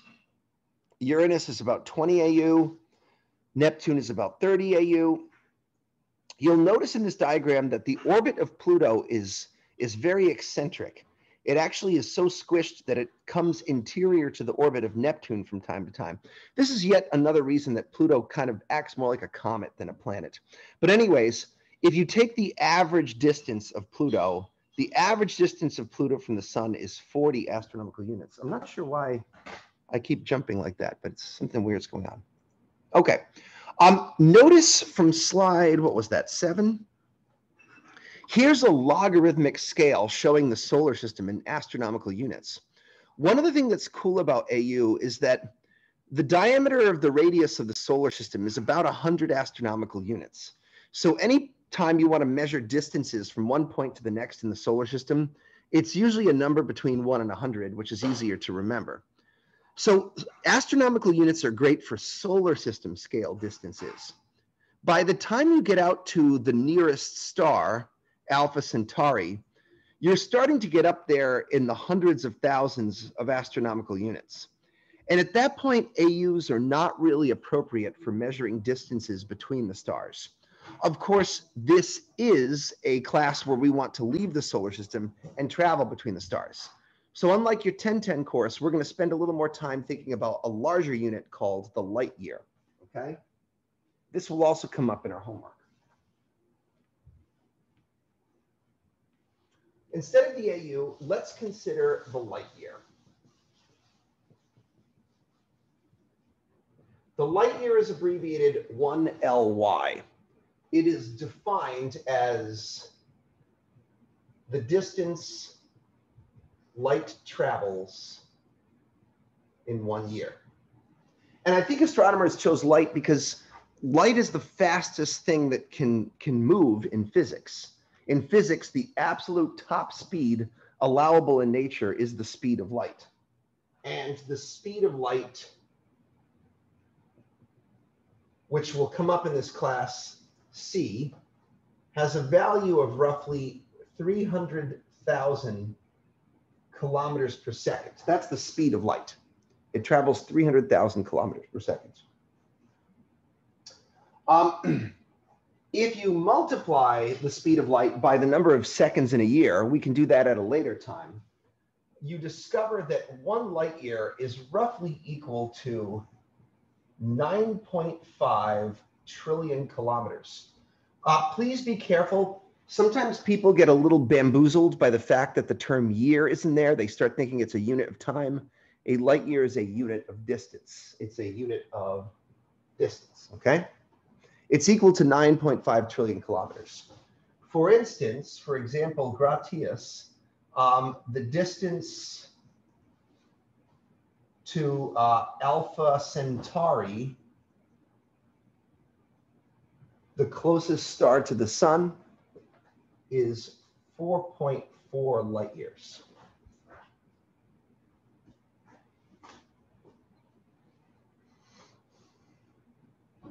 All right.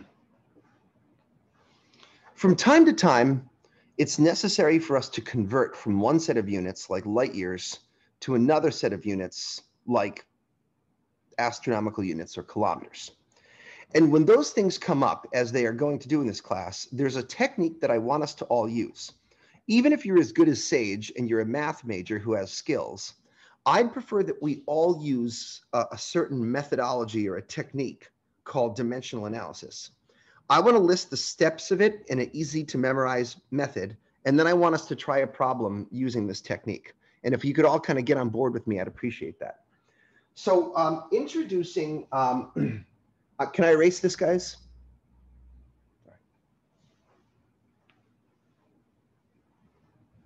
Okay. So let's talk about um, dimensional analysis.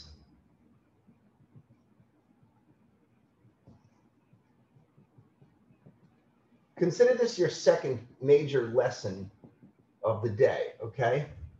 Dimensional analysis is going to be uh, how we solve problems in this class. And in particular, it's particularly useful for conversion problems. Uh, that's where we have to convert one set of units to another units. Actually, there are multiple levels of dimensional analysis that I will eventually teach you. Dimensional analysis is actually a deep rabbit hole that is way more profound than simply converting units. One of my first tasks as an undergraduate physics student, I mean, I can't believe I was 18 years old. They asked us, one of our first homework assignments was to derive the Planck length.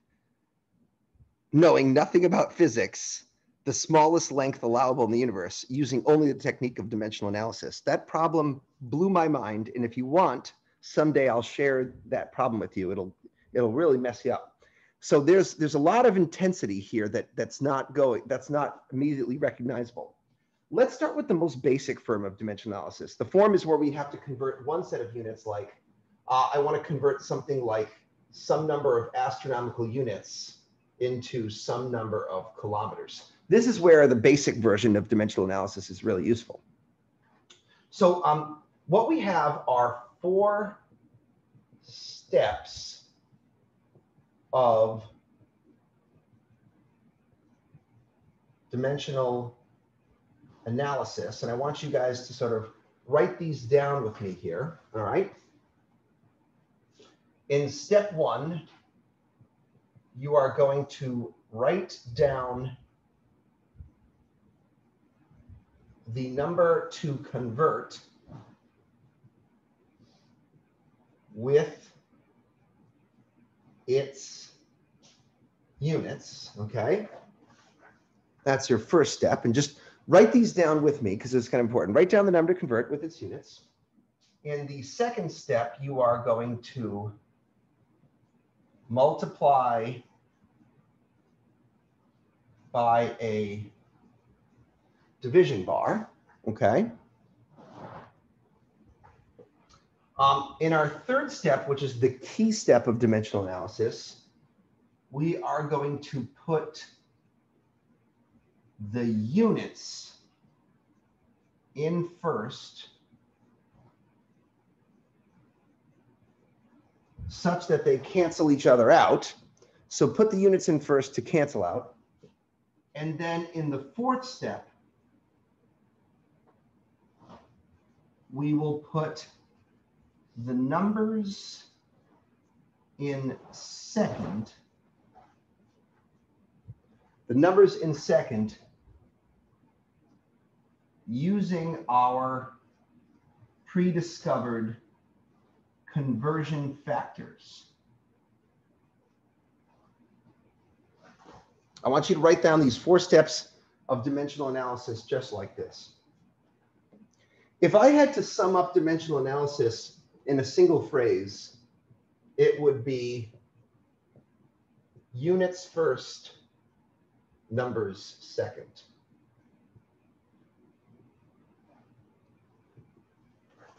That's how I think about it. All right. Uh, some of you, uh, I did that rather quickly because I know Ryan and Ian know the drill. I make a big deal out of this. It's one of the most useful things I teach my students. Sage, you're the only non-troll that hasn't taken my course before. So math major or not, you're going to do this with me just to make sure that you can conform to my styles, okay? So let's come up with a basic, simple, wicked simple problem Let's solve it with dimensional analysis. Then maybe I'll give you a slightly more complicated one. And then I'll show you how you can use this to great effect. All right. Okay. So let's say we have uh, the kind of problem that dimensional analysis is great for. If Pluto is, and I'm doing a real easy one because I want to go soft on any of those students at first who haven't had a lot of exposure to math if Pluto is 40 AU uh, on average from the sun, how many kilometers is that? Now, Sage might be good enough to kind of solve that in his head without dimensional analysis, but I think it would be fun, Harrison Bergeron style, to slow him down. In the science fiction story Harrison Bergeron, they they take the most intelligent man in the room and they put a buzzer in his ear so that he's constantly ringing and he can't think straight. That equalizes his intelligence to the rest of uh, the classroom here. So you got to read this Harrison Bergeron if you haven't. Now I'm Harrison Bergeron style going to slow Sage's thinking down and I'm going to force him to conform to the state society here. And he's going to use the four steps of dimensional analysis to solve this basic problem. Okay, our first step, Sage, is to write down the number to convert with its units. So what number should I write down in what units? So that's going to be AU to kilometer. Wait, we want to write down the number. What's our number?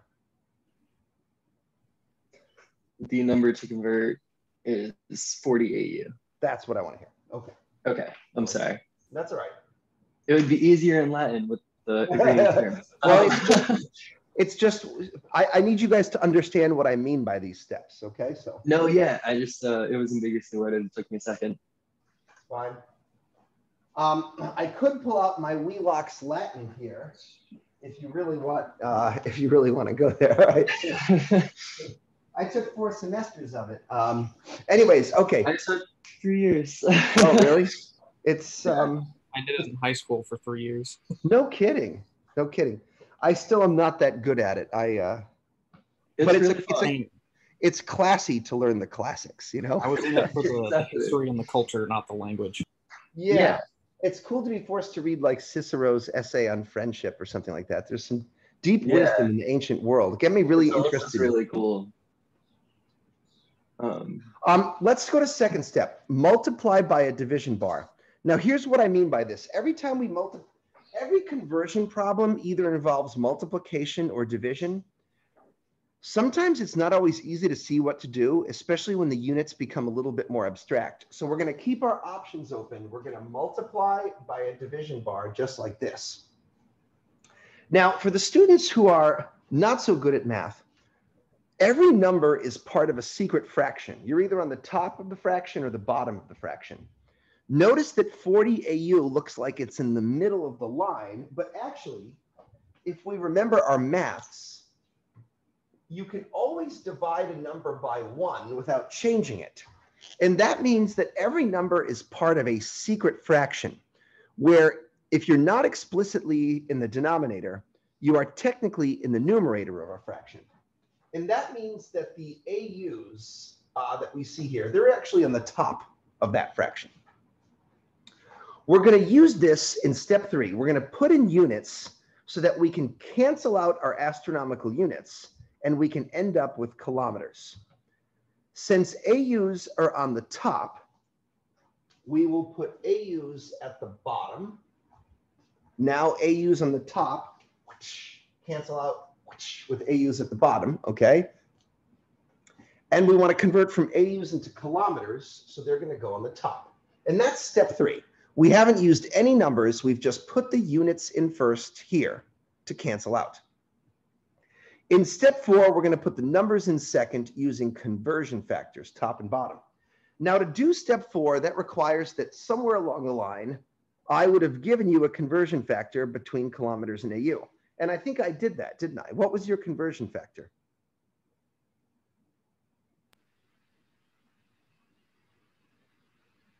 Look it up. Um, 150,000, uh, 150 million kilometers is uh, one AU, right? One AU, yeah. So, so earlier we learned that one AU is 150 million kilometers. So you have to have that tucked in your back pocket somewhere, okay? Now let's go ahead and let Sage put the numbers in second. Sage, you got to give me a number on top and a number on bottom. What do you want to do? Um, so we can put uh, 150 times 10 to the 60th on top and one on the bottom. That's right. Not 60th, but sixth. Er, I'm sorry. Yeah. yeah. So I want to point out something that Sage did correctly there. He's making sure that he keeps the number next to the unit in which it appears in the conversion factor. So the 150 million stays next to the kilometers. That one stays next to the AU. That's important. Okay. Now at the end, you just kind of do whatever the math problem tells you to do. We multiply 40 times 150 million divided by one. Let's practice using our EXP key together. So punch after me. Do this in memory of me, okay? We're just going to do uh, 40 times 150.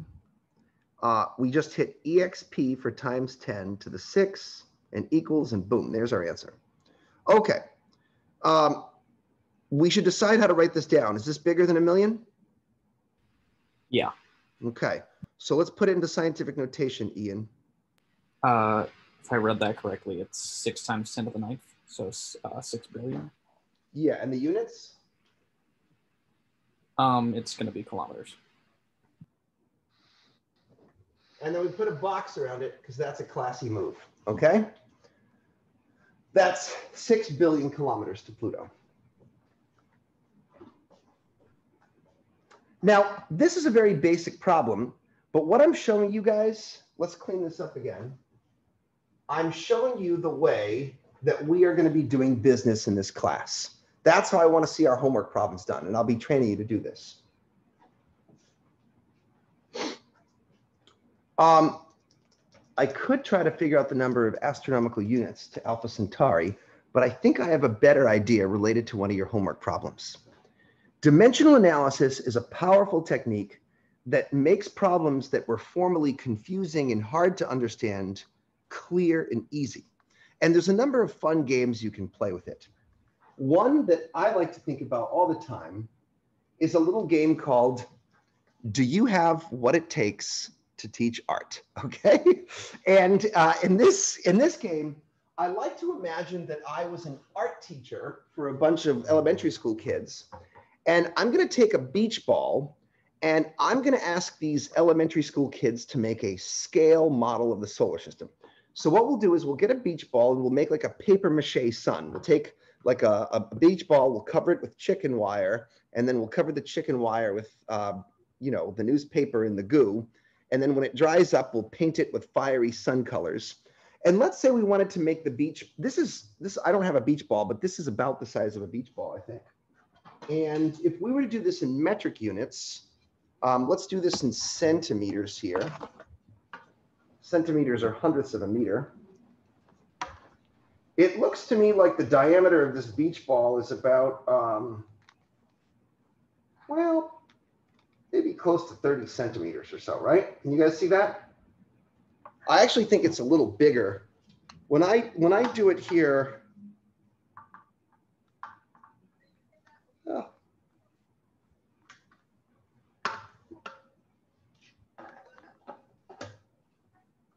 yeah, if I put it through here, it actually goes past 30 centimeters and I can't get right to the middle. I think it's actually a lot closer to 40 centimeters.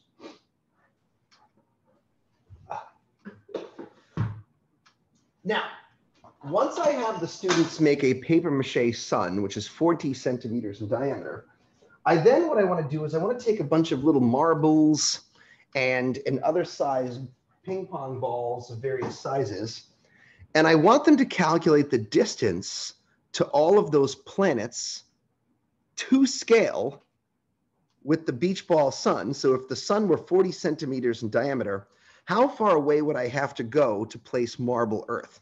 How far away would I have to go to place tennis ball Jupiter? How far away would I have to go to place BB sized Pluto? Okay. And see if they can work out a scale model. This is a perfect uh, technique to use dimensional analysis for. Or dimensional analysis is the perfect technique to solve this problem with. Whoops. And this is related to one of our homeworks about scale models. So let's try that.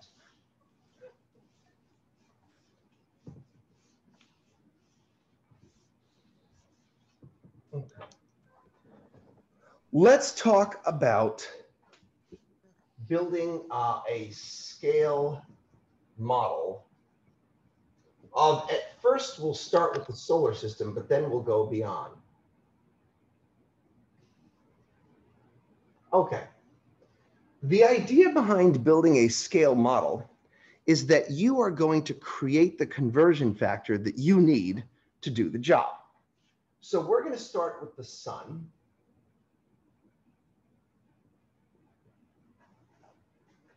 The true diameter of the sun is 1.4 million kilometers. And I want you to remember that. That's going to come up uh, in our homeworks here. The sun's diameter is 1.4 million kilometers. Um, if I build a model in which it's the size of a beach ball, I'm going to be setting it equal to 40 centimeters. By the way, I meant to put this in our metric units of distance, but in case students out there don't know, one meter contains 100 centimeters.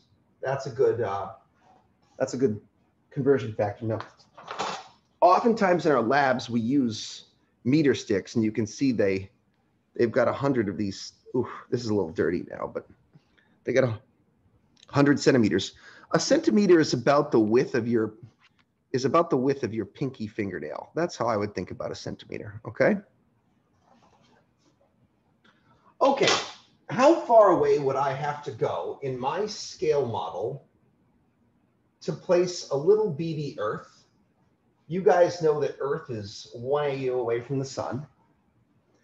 The idea behind a scale model is that you create your own conversion factors based on fun. Okay. So what I've done is I've created a scale factor in which 1.4 million kilometers is equal to 40 centimeters. But I'm going to show you guys a little useful trick here. Because there are 100 centimeters in a meter, because there are 1,000 meters in a kilometer, there is an actual number of centimeters that represents the diameter of the sun. And I got a feeling that it ain't 40. You know what I'm saying? we have to make sure that we can keep our brain straight between the real diameter of the sun and the paper mache fake diameter of the sun. So what I'm going to do is I'm going to use a little prime next to the centimeters. You'll find this is a helpful thing to do, where the prime represents the sort of paper mache scale model. Okay, so the prime represents, sometimes I just refer to it as fake centimeters or paper mache centimeters. All right, that can be useful so that you don't get the two confused. Okay, let's use dimensional analysis and let's figure out the question how far away in say fake centimeters, how far away do I need to be to have the students move away from the sun to place the marble earth? So how far from the uh, paper C-H-I-E, how do you spell paper mache? M-A, can I spell paper mache? Maybe M A C H E T. No, no, no. Or E T. It- Paper ma. I thought there was an I in there. No, it's paper M M A C H E. Wow. What? That's I E R? Why did all these people on the internet?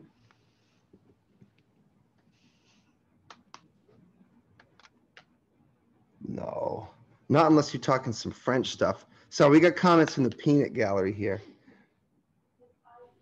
Look at the Wikipedia page. Technically, it's P A P I E R dash. P-A-P that's where the I is. P A P I E R M A C H E with a exante. Huh. You learn something new every day. The real takeaway from this class is how to spell paper mache. Yeah, I think so. With the that, I don't know if that's accent grave or accent aigu. How far from the paper mache sun do I, do the students place Earth? Okay. Um, this is a problem we didn't do in 1010. So anyone, Ian, Ryan, Sage, I don't care who, how should I go about doing this? I'm trying to think through it for myself because this was Don't all think. weird. No one gave you permission to think. All I gave you permission to do is dimensional analysis. You do not have to think with dimensional analysis. That's what's cool about it. You follow the rules good little soldier, okay? Be a good child soldier. And what are the rules? Start, start with rule number one. Um, well, we need to find the number to convert. All right, so what's the number we're trying to convert with its units? That's what I was trying to think about. So I'm, I, we're trying to convert one AU, right? Essentially, right? Okay. So let's write that down. What's step two? Um, multiply by a division bar. What's step three? Uh, put in the units. Okay, so give me some units. Yeah. Okay. So I guess we would go to kilometers first. So Okay. AU on the bottom, kilometers on the top. And then you put one AU on the bottom and then 150 million on the top. Okay, this converts from A to kilometers. Now, frequently what happens if one step is not enough to get you where you want to go, you have to go from step three or step four back to step two and make another division bar. So far, we know that we have to go 150 kilometers away, but that doesn't tell us anything about our paper mache world. So we're going to have to go back to step two and we're going to have to make another division bar. Now, what do I do? Uh, kilometers on the bottom and fake centimeters on the top, I guess. Excellent. Okay, and now help me put in my conversion factor. Um, 1.4 million uh, kilometers on the bottom and then 40 centimeters on the top. because I'm using this scale factor, the conversion factor that I invented. Okay, why don't you guys see if you can punch all that up for me using your calculators? Tell me what you get. In fact, since this is the first day, since some of the studio people at home are watching, I want you to watch me do it. I'm going to multiply, multiply, multiply, divide. I'm skipping all the ones, really. So I'm actually just going to skip 1AU. I'm going to do 150 EXP6 times 40 divided by 1.4 EXP6 equals. What do you got? I got um. Well, sorry. Uh, you want me to? Actually, no, we don't need to. Uh, four thousand two hundred eighty-five. All right, now that's a lot of precision here. Yeah. What I'm going to suggest we get in the habit of, we're going to talk about rounding in a little bit during our, our lab session, but only a math student would write down 4285.714286 as, as if there was all this precision involved in measurement. We're just going to kind of crudely round this from 4285. We're going to round it to 4300. And what are the units? 4,000. Um, the units would be fake centimeters. Fake centimeters, that's right. Okay, so in some ways, this is our answer, but let's get real, guys. If you start telling these sixth graders, you need to place marble earth 4,300 centimeters away from your paper mache sun, they're going to be like, what? What are you talking about, teacher? I don't understand that. So Also- how, why don't we convert this to some other unit? Like, what would be a better unit to use? Meters. Yeah. Okay. And Ryan, how would I convert that into meters? Show the students at home how to use dimensional analysis. Um, you would put, I mean, to be honest, you don't really need dimensional analysis for this, but you would put Let's Four- assume that we do, because four thousand three hundred centimeters, fake Then- centimeters. fake centimeters, sorry, times the division bar.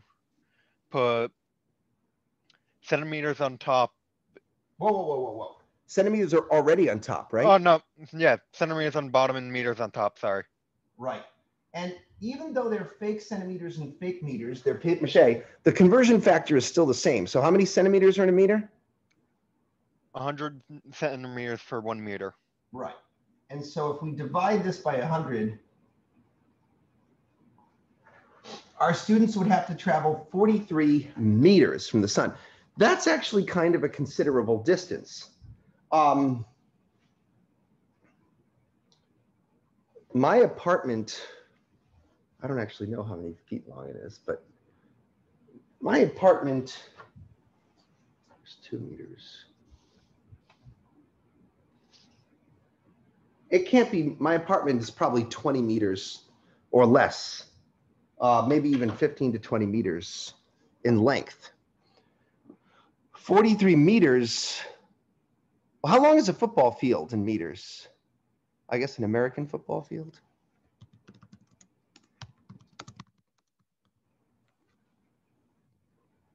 Three hundred and sixty feet. Great. Three sixty feet to meters. Okay, it's about 100 meters is the length of a typical football field, right? So that's close to half a football field. It's not quite there. I don't know. I'm just trying to think of something that people can relate to. Personally, I I don't really relate to sports. Sorry, I was picturing children like running down the football field. I was like, run, go. yeah, exactly. Okay. And that's just Earth. So Right. So now what if we wanted to take them to Pluto? you're going to be in the next town over. Maybe. Well, let's work it out. So uh, we know, in a way, guys, we've kind of created a new conversion factor. We now know that one AU is equal to about 43 fake meters. And so that's now also related to our scale factor. It's another conversion factor that we accidentally came up with. Okay. So I'm going somewhere with this, so just humor me. I'm almost done here.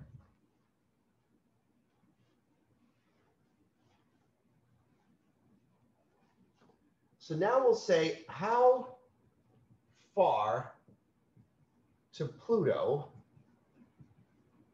on this scale. There's a bunch of different ways to do this, but what would you guys say the quickest way to do it is?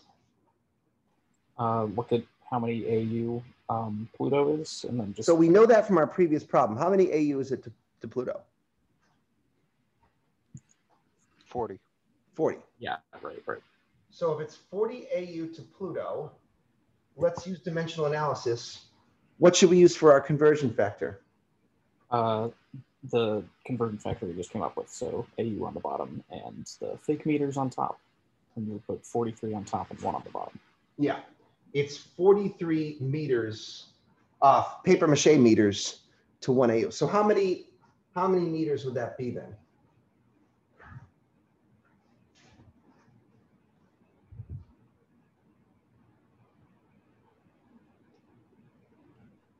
One Uh, thousand seven one hundred thousand seven hundred twenty.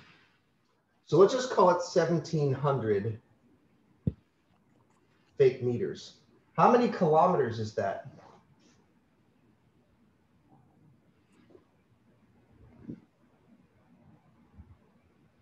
One point seven. Yeah.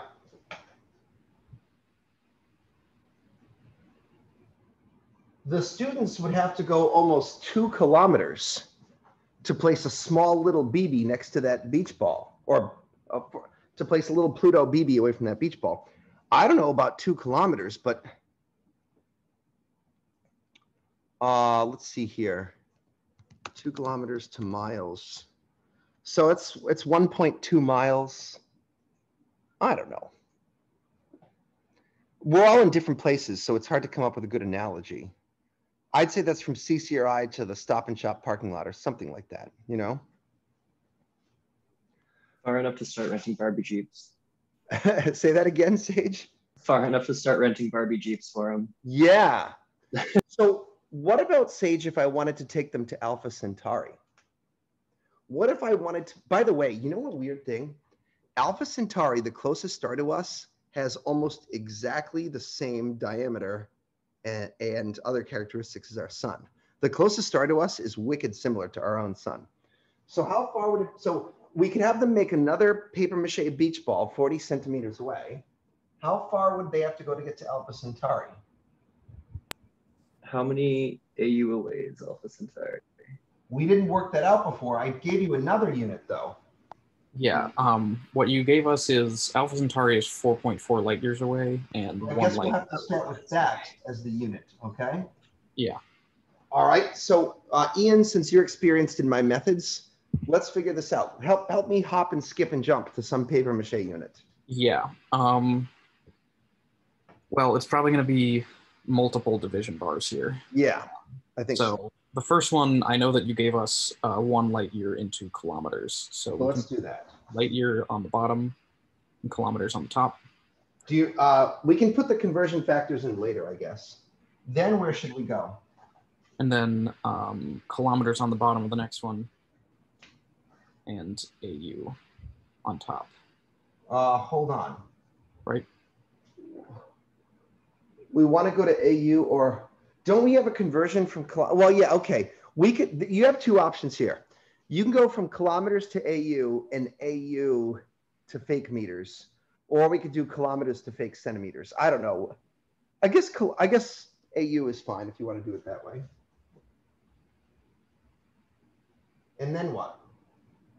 Um, and then AU to uh, fake centimeters, I guess, because or we can do meters. You have Because AU to fake meters. Meters. Yeah. Yeah. And now kilometers will cancel out and AUs will cancel out. Okay. So give us our conversion factors now. Um, one light year to 9.5 billion or trillion kilometers, Trillion. Yep. and then um, 150 million kilometers to one AU, Okay. And then 43 fake meters to one AU. Okay. Why don't you guys punch that in and tell me what you get? I want to make sure you get the same thing I do. Once again, it's the first day, so I should probably punch along for those students who have trouble. Uh, I need to show me and the problem at the same time. Okay. Oof. Okay.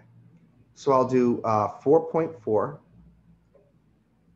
and I'll do times 9.5 EXP12 um, times 1 divided by, I'm going to divide by 150 EXP6 times 43. I don't have to divide by 1. Huh. Is that what you got? So what is that?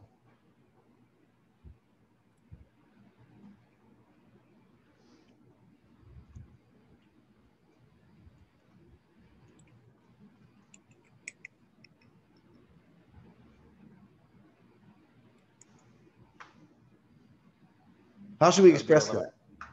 Eleven times ten to the six m- fake meters. Well, look, you've got 11.9, so let's call it 12, okay? Okay, That's 12 million fake meters. How many kilometers would that be? Fake kilometers.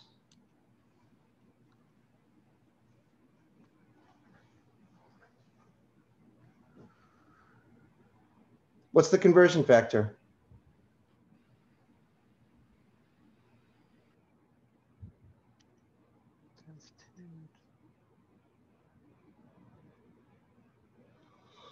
Come on, guys. Meters to kilometers.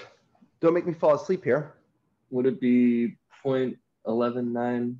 Wait, wait, Uh, hold on. Can you give me the conversion factor first, Sage? So Oh yeah, for sure. It's um one thousand meters in every kilometer. Okay, so how many fake kilometers is that? So point twelve or point zero twelve times. Huh? Uh, Just punch it in your calculator. Don't be a hero. times ten to the third. 12 times 10 to the third, which can also be expressed as 12,000 fake kilometers. Yeah.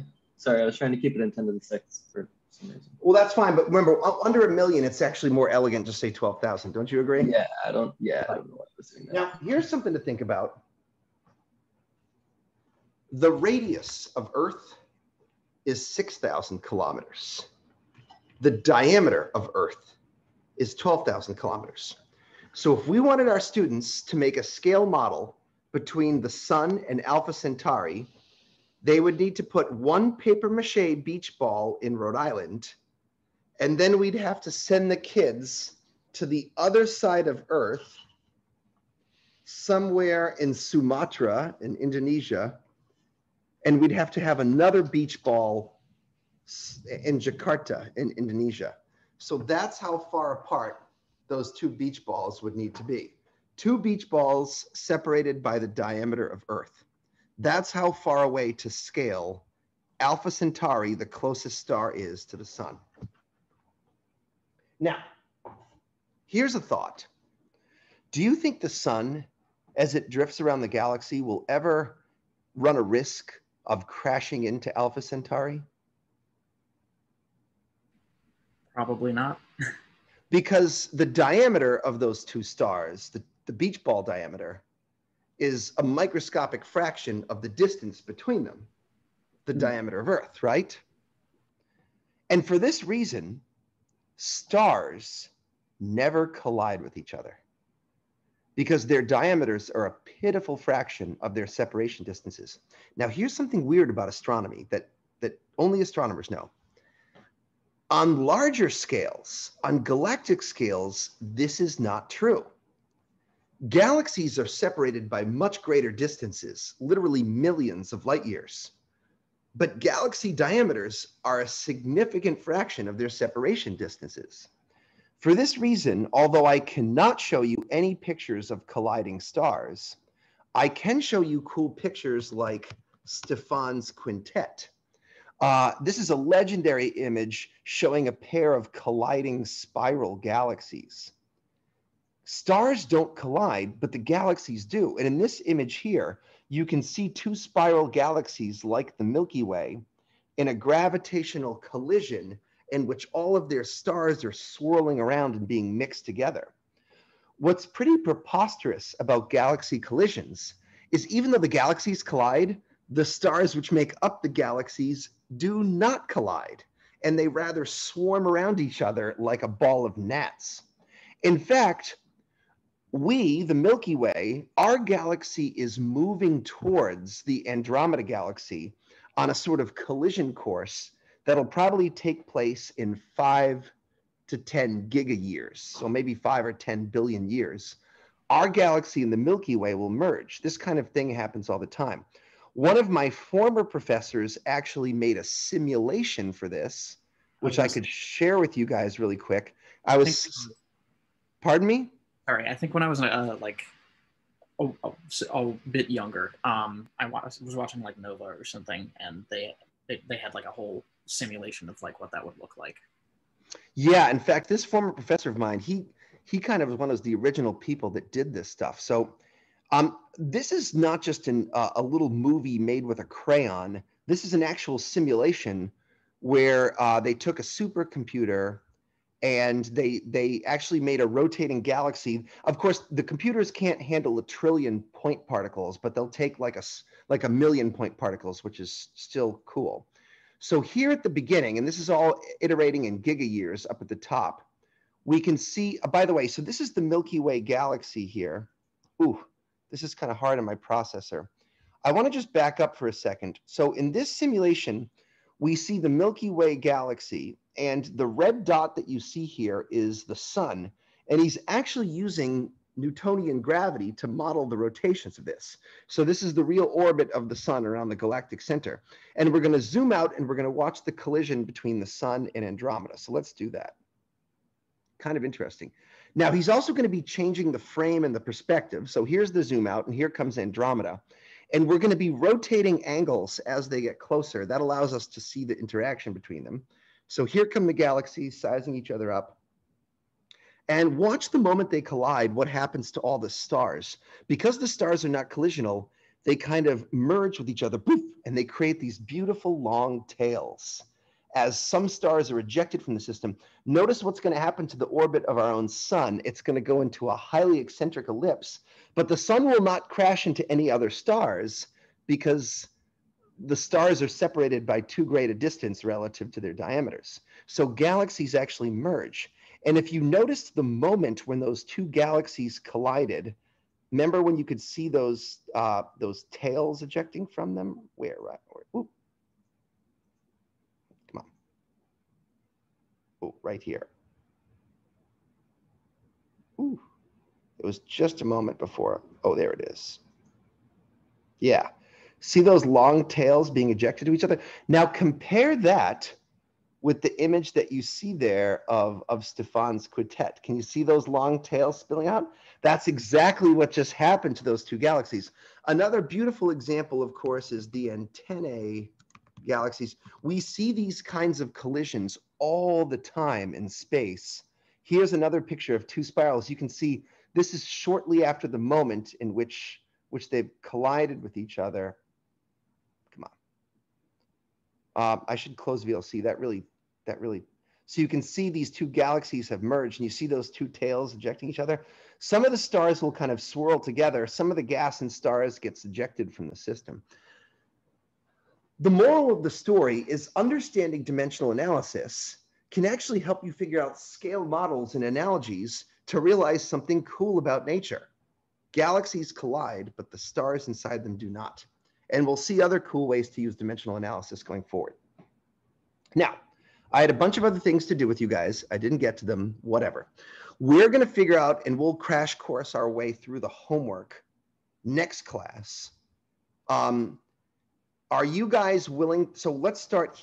We're going to do a lab in just a few moments and we'll keep it short and sweet because you guys are trained pretty well. But uh, before we do our lab, let me ask about the homework that we're going to do on Thursday. We should do the homework together. There's a bunch of tricky bits like this that you're going to want some advice from me from.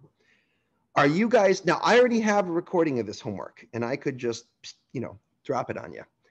But I'm willing to do it live if that's something that you guys want to do. Who's going to show up if I wake up and get get it together for 10 o'clock? You guys will? Ian? Uh, I'll show up. Okay. I, I have a Uh, hard time with morning. mornings. speaking, Oh wait, who's in the who's in the troll factory there? Who else wants to show uh, up? Brandon. All right, I'll Brandon. show up. Yeah. Brandon, you'll be there. Okay. So we got Brandon, we got Sage, we got Ryan. I guess Ryan Dick will be there as well. Okay, so that's that's enough for me to that's enough for me to do it. Okay. Um, remember, if it if it's too few people, like it might be worth it if there's too few people just to give you the pre-recording. But let's kind of set the pace for this. I know that many of you do enjoy these live sessions. So Uh, sometime a little after 10 o'clock, somewhere between 10 and 10:15, I'll send out the link.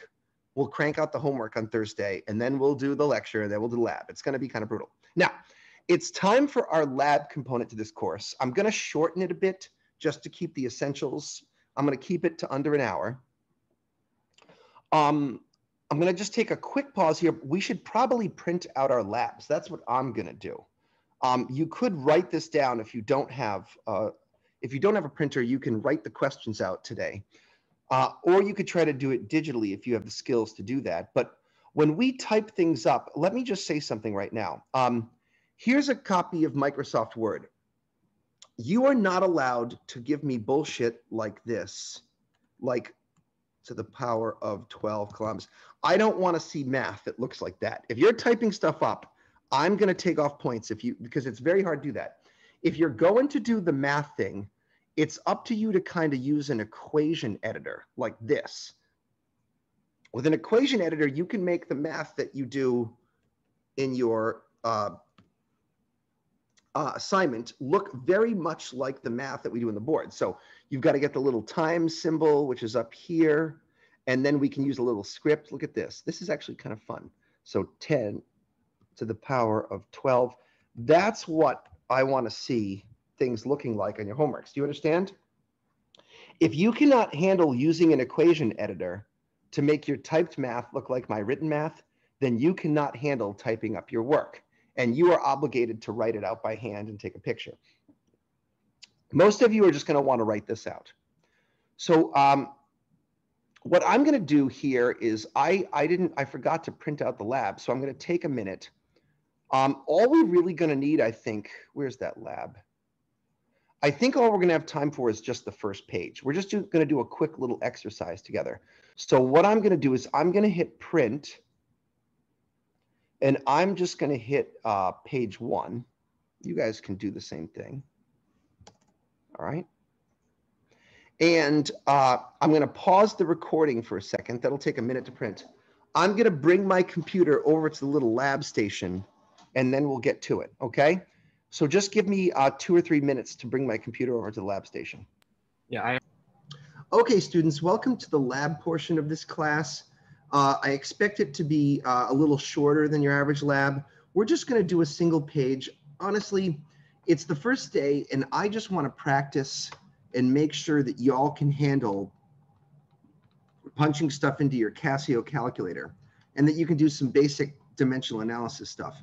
Now, what's a little weird here is I know Ryan and I know Ian are well trained in this because they've taken astronomy 1010 and I know they've got the chops.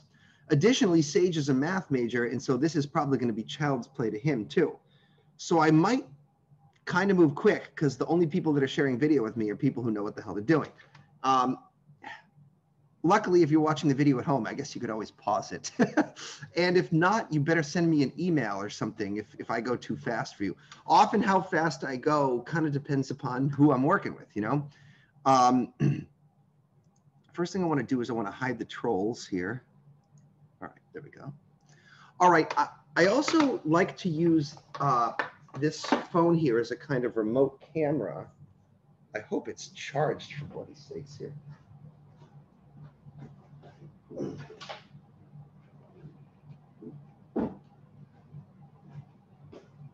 I could use my iPhone, but then people are going to be sending me embarrassing text messages during the course of the thing. That's happened before. It didn't always go so well. Uh, can I get away with that? I guess I could go to airplane mode, right? Yeah, what the hell? If I go to airplane mode, I think. All right, let's try it with my fancy new phone. And uh, please forgive me. Hopefully, everything that pops up on my phone during the course of this uh, lecture will be PG 13, if you know what I'm saying. Okay. I've definitely had a couple of mishaps that that gave me pause. COVID life. Okay, so um, here we go. I'm going to try sharing my screen to my iPhone. Oh, wait, I got to put the Wi Fi on here. Hopefully, I can do this in in airplane mode. Okay. Share screen. And then uh, here, screen mirroring. There we go. This should connect. Fingers crossed. All right. And now I can go to my camera tool and uh, sure enough, you guys can see my paper. Okay. So you guys have all this in front of you. You have this lab in front of you? Okay. So uh, just rules of thumb. Let's start with our name. Okay. So put your name down. Uh, every time that you uh, write me a email or you submit an assignment, I would like you guys to always put AS uh, 1020 on it.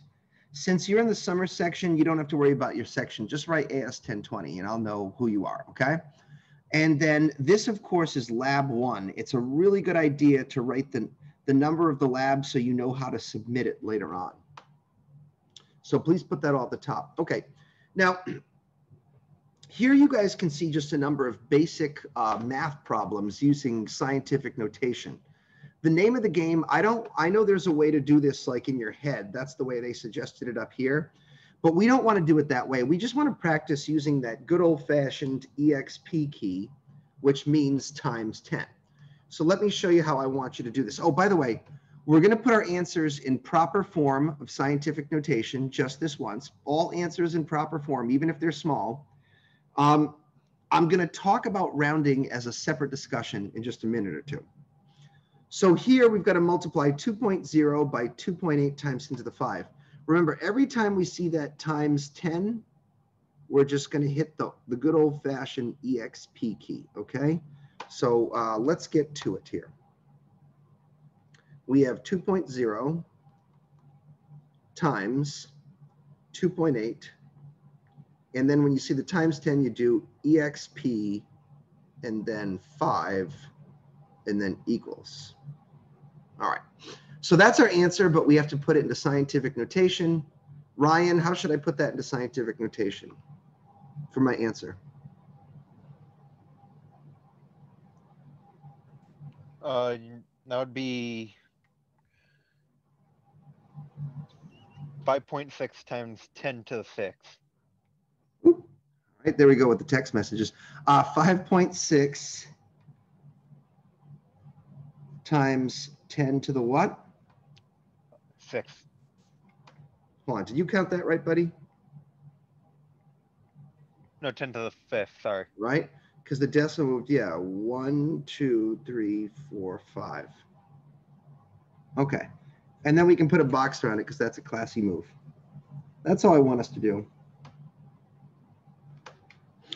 All right, in the next problem, we see something that's raised to a negative power. Okay, fine. I didn't address this in lecture because I, was sort of running out of time.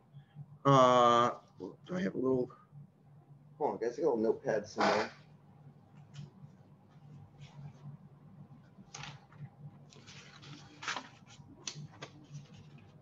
Okay, so let's talk about negative powers for a second. Sometimes you have small numbers which are really annoying to look at, like 0.000234.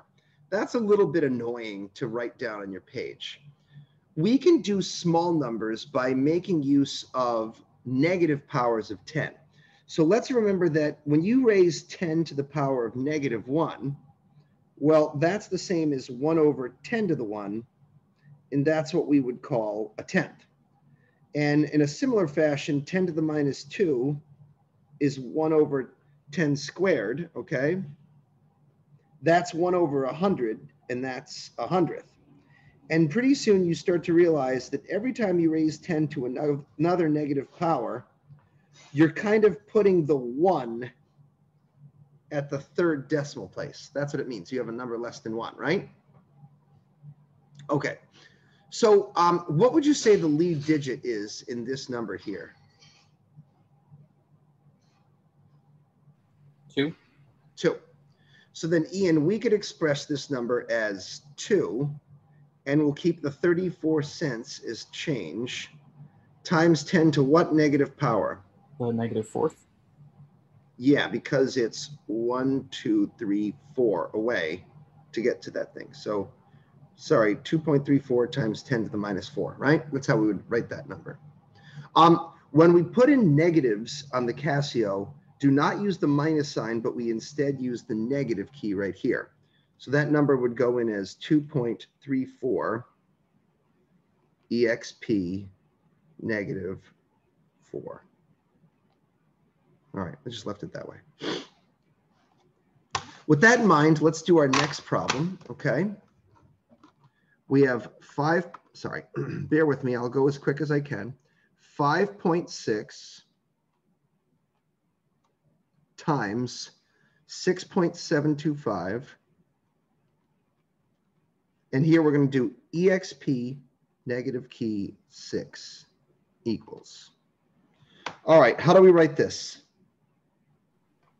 You could write it as 3.8 times 10 to the negative fifth.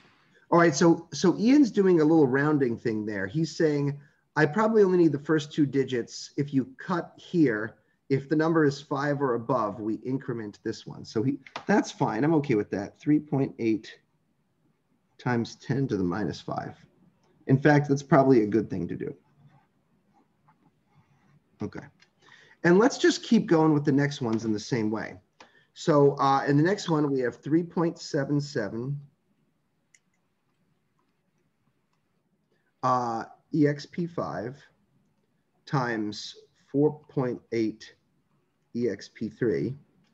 Okay, uh, so uh, just to talk to someone in the background, was there someone named Brandon in the background? Are you hearing me, Brandon? Yes, I can hear you. Brandon, can you help me put that number to scientific notation? Yes. I'm a trim at best. Just give it a whack. That's the idea. Is you have to kind of practice here.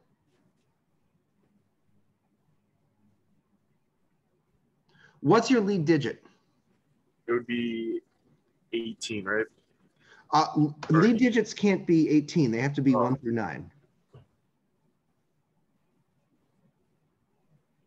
The lead digit's just the Or- first One, one, um, it's one, right? One point something. Yeah. So what do you want to leave for the something? Uh, 1.8. Okay. I like that. Times 10 to what power? Uh, Now you got to count, right? You got to count from here to where the Eight. decimal. point- Count better. Hold on.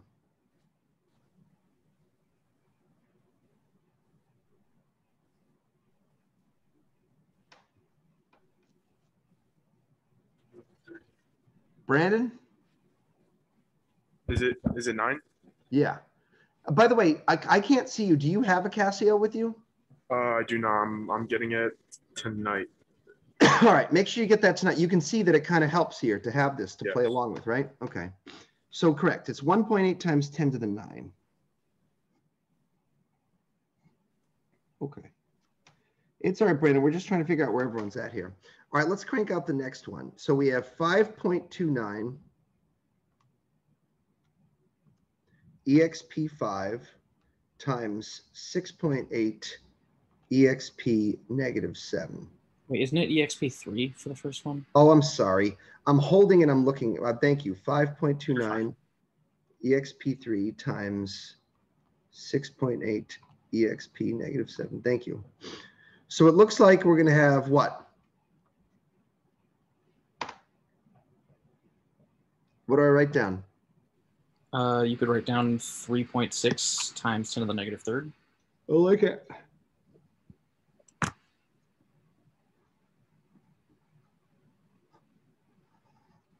Okay. Now, uh, let's keep going here with division, okay? So we have uh, 9.65 EXP3 divided by 2.0. How do I put that into scientific notation? I don't think you would have to. You could just write that as 4,800. If this was the homework, yes, but just for today's exercise, we'll put everything in scientific notation. Okay, so if you rounded it, it could be 5 times 10 to the third. Let's let's get the students in the habit of doing two sig figs for now, Ian. Okay, sure. Uh, 4.8. what you said was actually fine, but I'm going to do 4.8. Okay. To the third, right? I five times 10 to the third would have been cool too. Okay. So 5.6 exp5 divided by 1.6 exp5. Huh. How do I put 3.5 into scientific notation?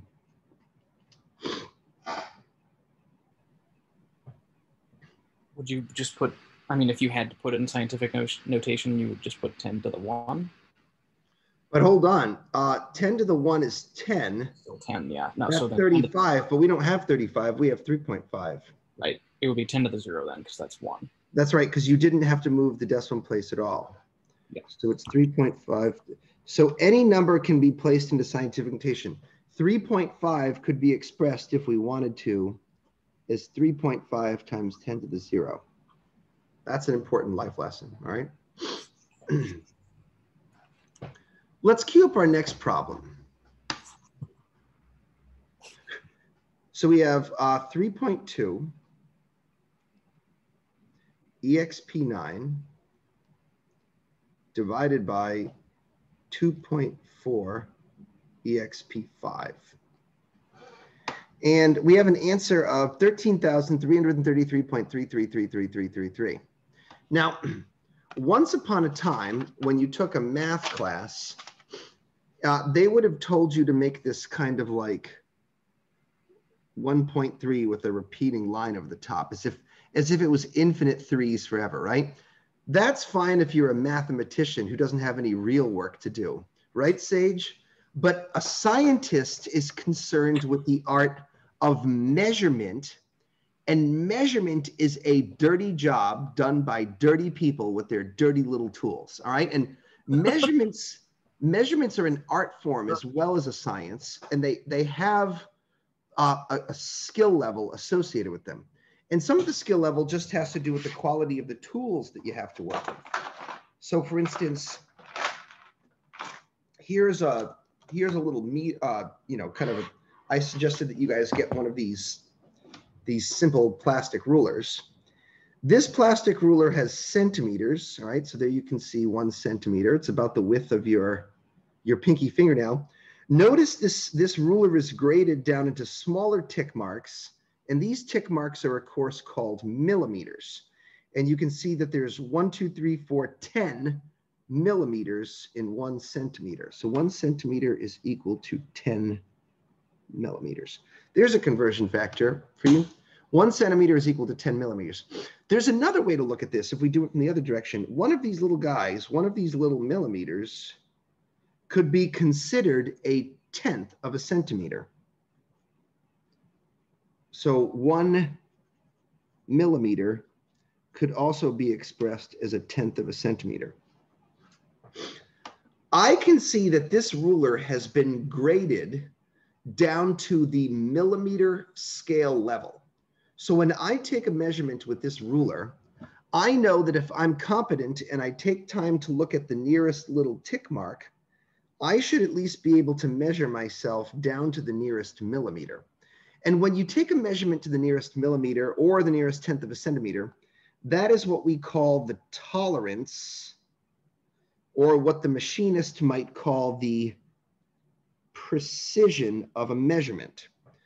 The tolerance or the precision of a measurement, it tells you something about the quality and the care to which the measurement was taken. And in professional science and measurements, even in machining and carpentry, one has to specify the tolerance and precision of a measurement. There's a lot of science that goes into this. So let's take as an example one of the other things we would have done. Um, one of the goals for today was to sort of measure the height of a lab partner. And that can be a fun icebreaker when people are in the lab room together. Kind of pointless to do when you're all sitting at home in your rooms. So I'm going to measure myself as a way of talking about tolerance and precision, okay? So let me go grab a meter stick or two here.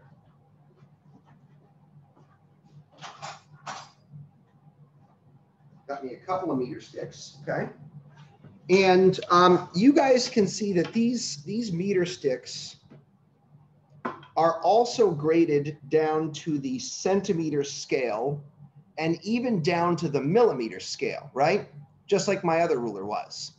So if I measure myself with these meter sticks, a good workman-like job would require me to have a tolerance of at least the nearest tenth of a centimeter or millimeter, however you want to look at it, right?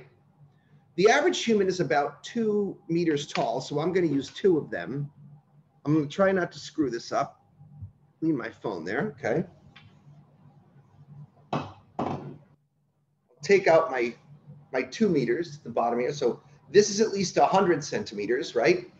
And now I will stand up, back straight, put this ruler across my head.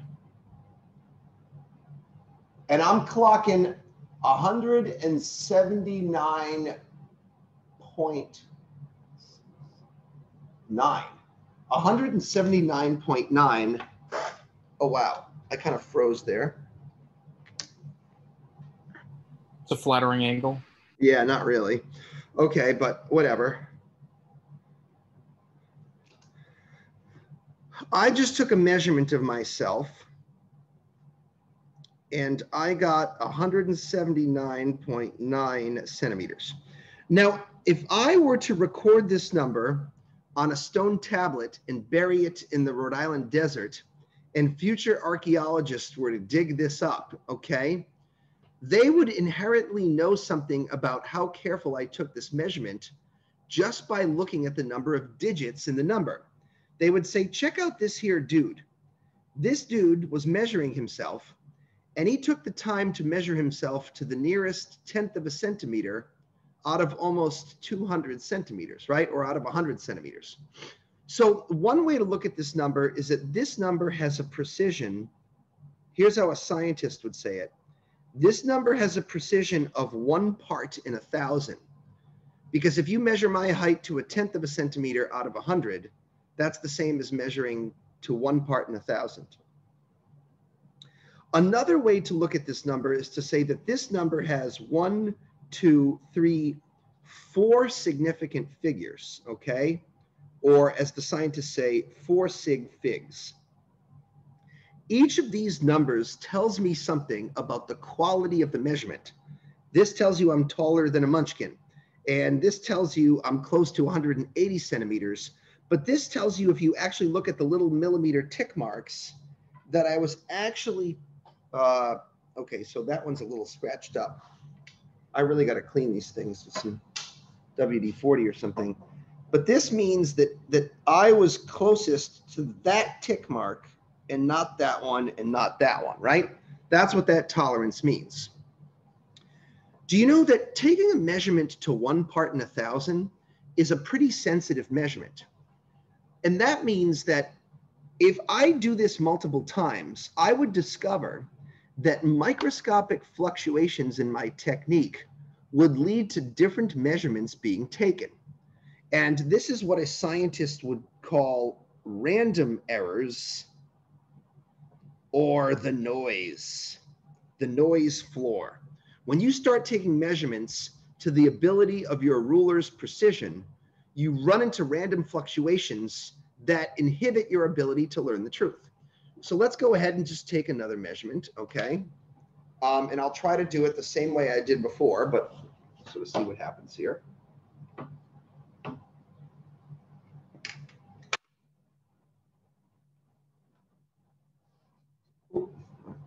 I got to keep it straight here. This was 180.7 centimeters.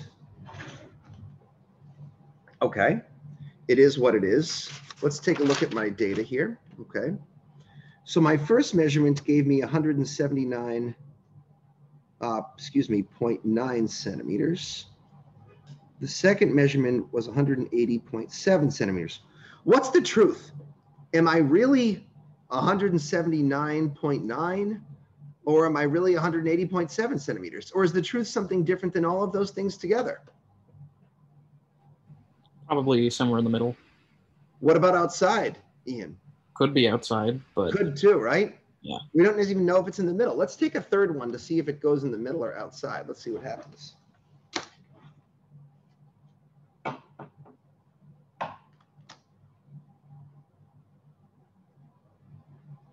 One hundred eighty point four centimeters. So it was in the middle this time, although I've had it come out the other way before.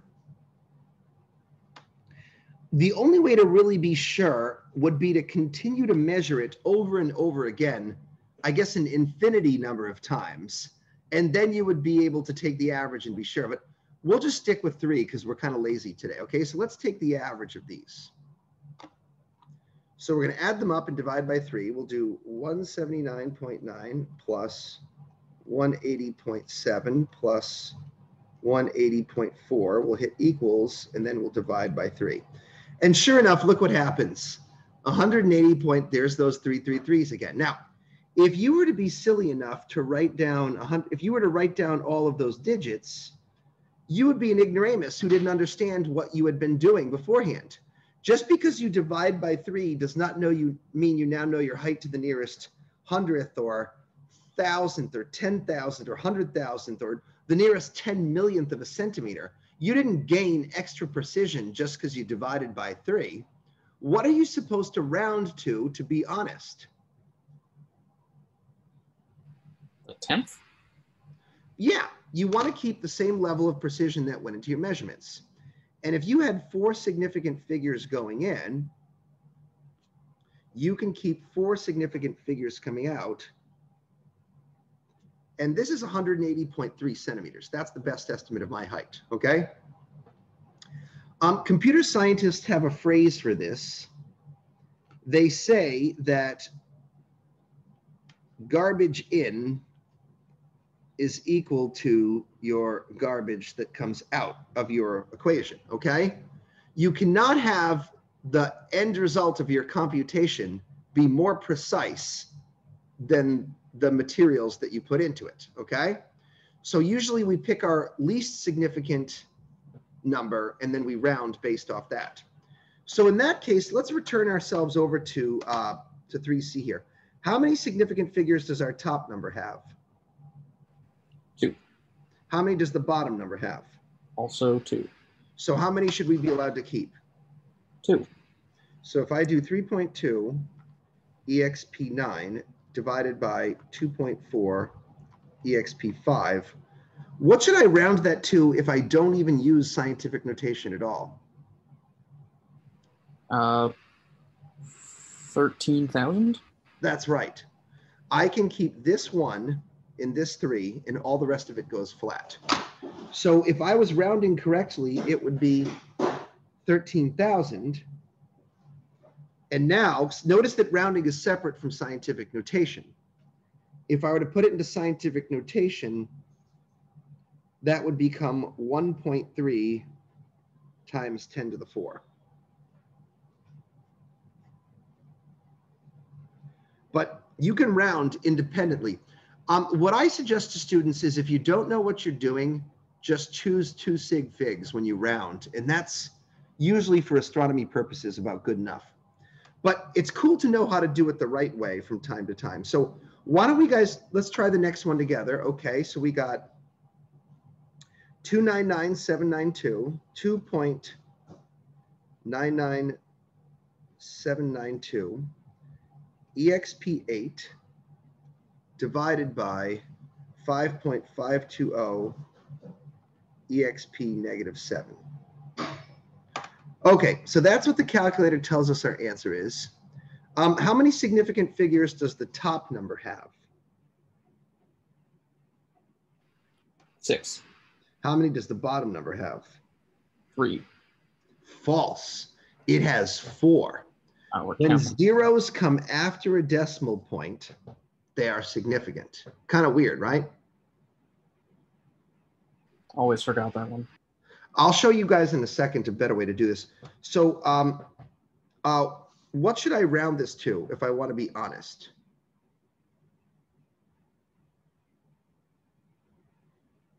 Sage? Is it four or the average? That's it's four because this is your crappiest number, and your crappiest number pollutes the answer. So what should I round it to then, uh, Sage?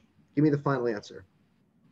Uh, let's make that five point four three one times 10 to the 3, 9, to the 14th. That's right. I'm sorry, I'm using my phone calculator. Oh, that's right. So five point four three one times ten to the fourteenth power.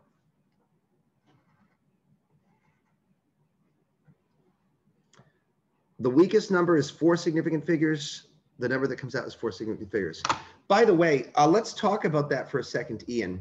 Since you guys are a little more experienced, maybe it's time for us to have an adult conversation the gold standard for years in physics and the book that I was trained on, uh, I was first introduced to in my experimental methods of physics class, which was like a junior or senior level class. Actually, like a really mind blowingly cool class that teaches you a lot about stuff. Let me see if I can find you the book on this. It was a legend. Um, ah, here it is, right up here. Look, I've got it handy. This is Bevington and Robinson's data reduction and error analysis for the physical sciences. You can tell by the dog ears that it's got a, quite a bit of years of use for me. And they opened their chapter basically with the same lesson that I just had for you guys. And here's what they say about uh, scientific notation and rounding. They, of course, have this is a little more advanced than our class is ready to handle, believe it or not, because they really get into it.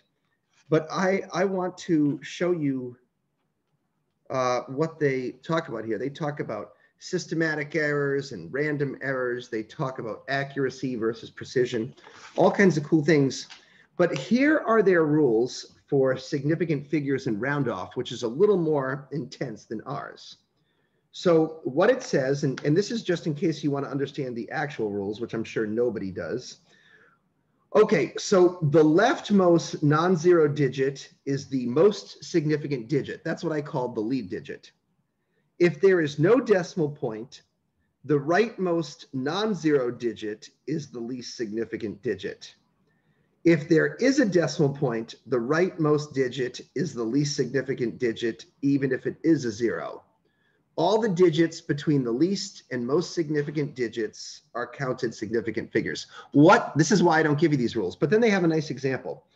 For example, the following numbers each have four significant digits. One, two, three, four, four sig figs. 123,400 has four sig figs. 123.4 has four sig figs. 1001 has four sig figs a thousand with just the decimal point is four sig figs. Uh, 0.0001010, that's four sig figs, these four significance there. 100.0 also has four significant figures. So remember, uh, the rule is when you have a decimal point, Ian, zeros are significant if you write them after the number, okay? These zeros up here, though, those are not significant figures. Yeah. The only thing that's weird to me is that a thousand with just the decimal is still four, and like the zero that is technically next to it doesn't count. But Right, so- we don't need to get into that. I just thought that was weird. That that number has one 35. significant figure, but if you put the decimal point there, it means four significant figures. I know it's crazy, right? I don't know. That's a bit extreme, but yeah, it's weird. these guys are even more crazy. Our rounding rule is if the fraction is greater than a half, you round up. But these guys do like if the fraction is greater than one half, increment the least significant digit. If the fraction is less than a half, do not increment. If the fraction is one half, so if you end up with a 0.5, increment the least significant digit only if it's odd. That way, if you do multiple machine calculations, you don't like unnecessarily bias towards rounding up. We're not going to go that crazy, okay? If we have a number like 12.55 and we want to round that to three significant figures, if it's five or more, just make it 12.6, okay? Don't we don't have to get too crazy. Yeah. Uh, but I wanted you to know that people get nuttier. And by the way, that's chapter one. They get into some crazy stuff. This is just a legendary book. This is why I'm a big picture guy and I like biology rather than physics. Yeah. Although, like, sometimes it's cool to know them little details, you know? They Okay. certainly have their moments. Yes, absolutely. Okay, so how am I doing on time? I think that's about all I wanted us to do for a day. I just wanted to kind of practice with their EXP key. I wanted to see like what it looks like to put numbers in proper form and just talk a little bit about rounding, you know, kind of keep the significant figures coming out similar to the ones coming in. Okay, now we'll end lab and just take a couple of moments to talk about how to submit this. So this is all you guys need to submit for me today. Do you have that? Has everyone got that? Okay. So what we're going to do now is we're going to stop the share. You, you said handwritten is okay, right? Yeah, handwriting the questions is okay. Yeah. All right. Also, Um, in case you didn't know, you're still recording. Uh, let me tell you what I discovered having done this now for a few semesters. People, just like Sage are doing, take pictures with their phone, and that's good, Sage. But what happens is if you try to submit this using your phone, oftentimes a lot of messiness shows up. The things end up getting loaded sideways, or sometimes they don't show up right. So let me suggest, Sage, that you do this in a particular way. I would like you to send that photo to your computer and upload it from your computer first. Yes, that's going to take you an extra five seconds, okay?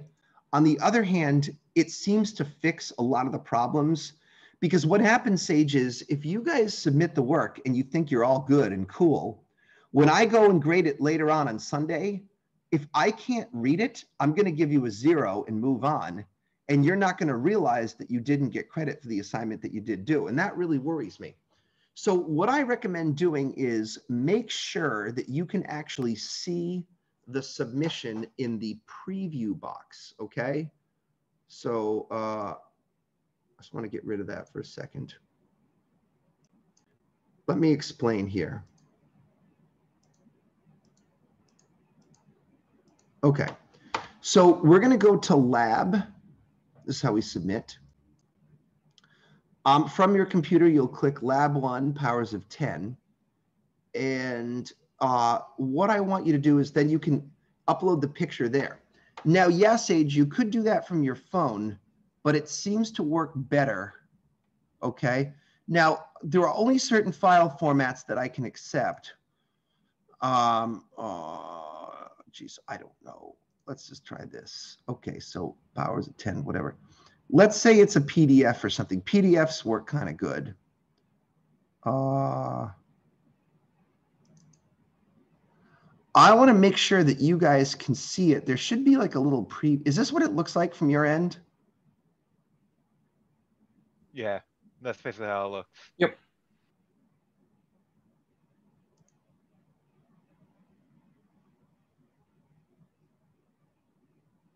Um, I see a little box when I grade it. Why don't one of you try submitting it? Uh, can one of you who knows what to do, could you just submit it? I just submitted mine.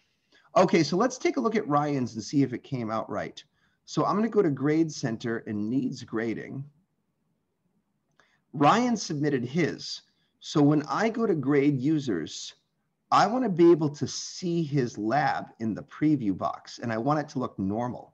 And that's great. You can see Ryan has written his stuff. Okay, his handwriting could use some work, but he's got all the right stuff there. Uh, just teasing you, Ryan. But this is great because I can see it. Okay, I can see this and it's previewed. I want to be able to see that when I grade it, and then I'll give you 10 points and we'll move on. I'm not going to grade yours right now, Ryan, because I want to wait until I have my grade book all set up. Okay. So, uh, Sage, Ian, and others watching, I found it works a little better if you upload it from your computer rather than from your phone. Okay. That leads to fewer mistakes. Every now and then go and check and make sure you're getting credit for the things that you think you've submitted. Also, be careful if you exit out before it's finished uploading, it will get locked in this version where I cannot grade it. And that's definitely caused a few people to miss points over the years. Ooh, excuse me. Okay. Is that all pretty explanatory? Guys, you got that? Sage, do you want to try and submit yours and see if it works? Yeah. Okay. Can you unmute yourself so I can hear you?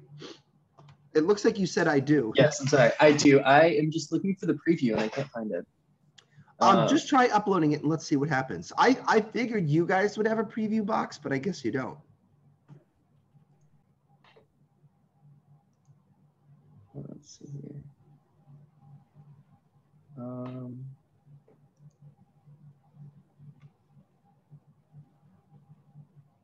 Oh, oh, it gave me the preview afterwards.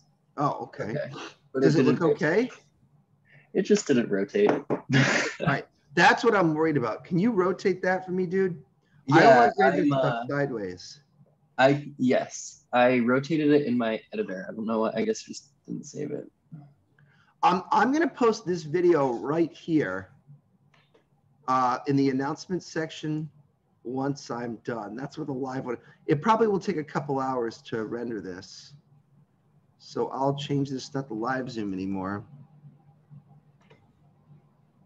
So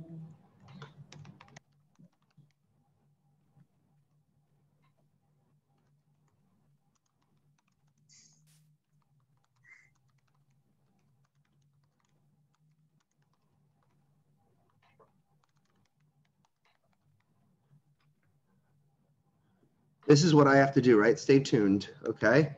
And then it'll take me an hour or two to get this video up. I'm about to stop it in a moment. Let's see if, or did you upload it now, bud? Sage? I am. Uh, yeah, I'm doing it right now. I just wish you would let me see it before I submitted it. Well, just submit it and then let's see what it looks like. Yeah, just got there, and it's sideways again. It's sideways again? Yeah, Why does it keep going sideways? I'm Um, not sure. I saved it as a completely different file this time, so that's kind of annoying. Was it sideways on your phone? Um, doesn't seem like it. I can Look, um, what I think you should do is just take go it to the, my computer. well, Sure. yeah, that's what I told you to do, right? Send it to your computer. And Oh no. I mean, yeah, I've been emailing it to myself and uploading it on my computer, but I was just saying I could probably do it with the webcam, and it might do it. Or what about like taking the image and then using something to rotate it, right? Well, that's what I did the second time, and I saved it as a different file in like a completely different folder, but it's still, It's still coming out sideways. yeah, That's evil. Why does it do that? I don't know. So I'm thinking I might just try and take a picture with my laptop. Um, see if I can make it easier. Um, here's another. Oh, Ian, I think one someone in your class has a great idea. There are these uh, apps that that take a picture right to PDF. Um, so why don't you look up a PDF scanner? And what it will Uh, do is I have a suggestion. I use Cam Scanner. It's a free app that for all my assignments, I it's you can just find it. Ryan, and- and I use takes a I use of- and Ryan, I love I love Cam Scanner too. Uh, that's a Google that's an iPhone app. I oh think yeah, Sage I think had a Google phone, right? Uh, seems like it's on both. Cam scanner, or there's one called PDF scanner. Tiny scanner, says Jordan. So listen, any any scanner will scan it as a PDF, and that usually makes for a really nice upload. Usually the file file sizes are a bit smaller than JPEGs too, so they're easy to work with. So Nice. Sage, if worse comes to worse, just upload it sideways, and I'll try to understand. But I yeah, I just um, I feel bad. I don't want you to have like a million uploads. Yes. as especially for homeworks and stuff, it's it's. I have taken off a couple of points before if they're sideways all the time if I can't read it. I don't. So yeah, I, I, don't blame you. um, but the first week I'll I'll understand. I mean, just see if you can figure it out, okay, buddy? Absolutely. Yeah. Okay. I'm gonna end the video so it doesn't get too much longer. I want to start processing it too. Um, so, do you guys have any other questions for me before we end for today? The the basic plan is that we're gonna get together to do the homework. We didn't train for all the problems, but whatever, we'll just do it anyways. We'll do the homework a little after 10 a.m. on Thursday before class. Okay? I actually did have a question I just thought of, um, just Yeah. for my own, so I can keep stuff organized. Um, so basically, what this semester is going to be is like what we would do in a week in one day, kind of. Right. Yeah. For Ryan and Ian, during the spring semester, we we had these nice luxury one and a half hour lectures followed Yeah. by lab or followed by homework. Yeah. The problem is, Ian, in the summer class, we're obligated to complete the whole week's worth of stuff in one session. That means unfortunately we got to do homework, then three hour lecture, then lab. So it's going to be, trust me, Ian, I was thinking to myself, oh my God, this is going to be pretty brutal. Yeah, I have this and then another. I have a bio lab science that also looks like it's going to be a lot. So I Just war- that's why I warn you guys, taking too many summer classes can be, the good thing about this class, Ian, is once you're done and you log out, you're Yeah. done with your work for the day. I, that's why I love this class. It's great. Yeah. And that's. I've tried to make it that way because I think that's, that's the way it should be. So, uh, why don't we, uh, so good luck with that. That's why, Yeah. get some coffee and some NoDoz or something, okay? Uh, um, but I'll see the rest of you guys Thursday morning, okay? All right, and uh, great hangs. Sage, welcome to the class. Great to have you here. And uh, the rest of you cats watching at home, uh, uh, feel free to, oh, you got a little kitty there. Ryan, see you Thursday. Can't wait to see you in uh, in in virtual person for once. So get that camera, okay? Um, all right, everybody. I'll see you guys Thursday morning. Peace out.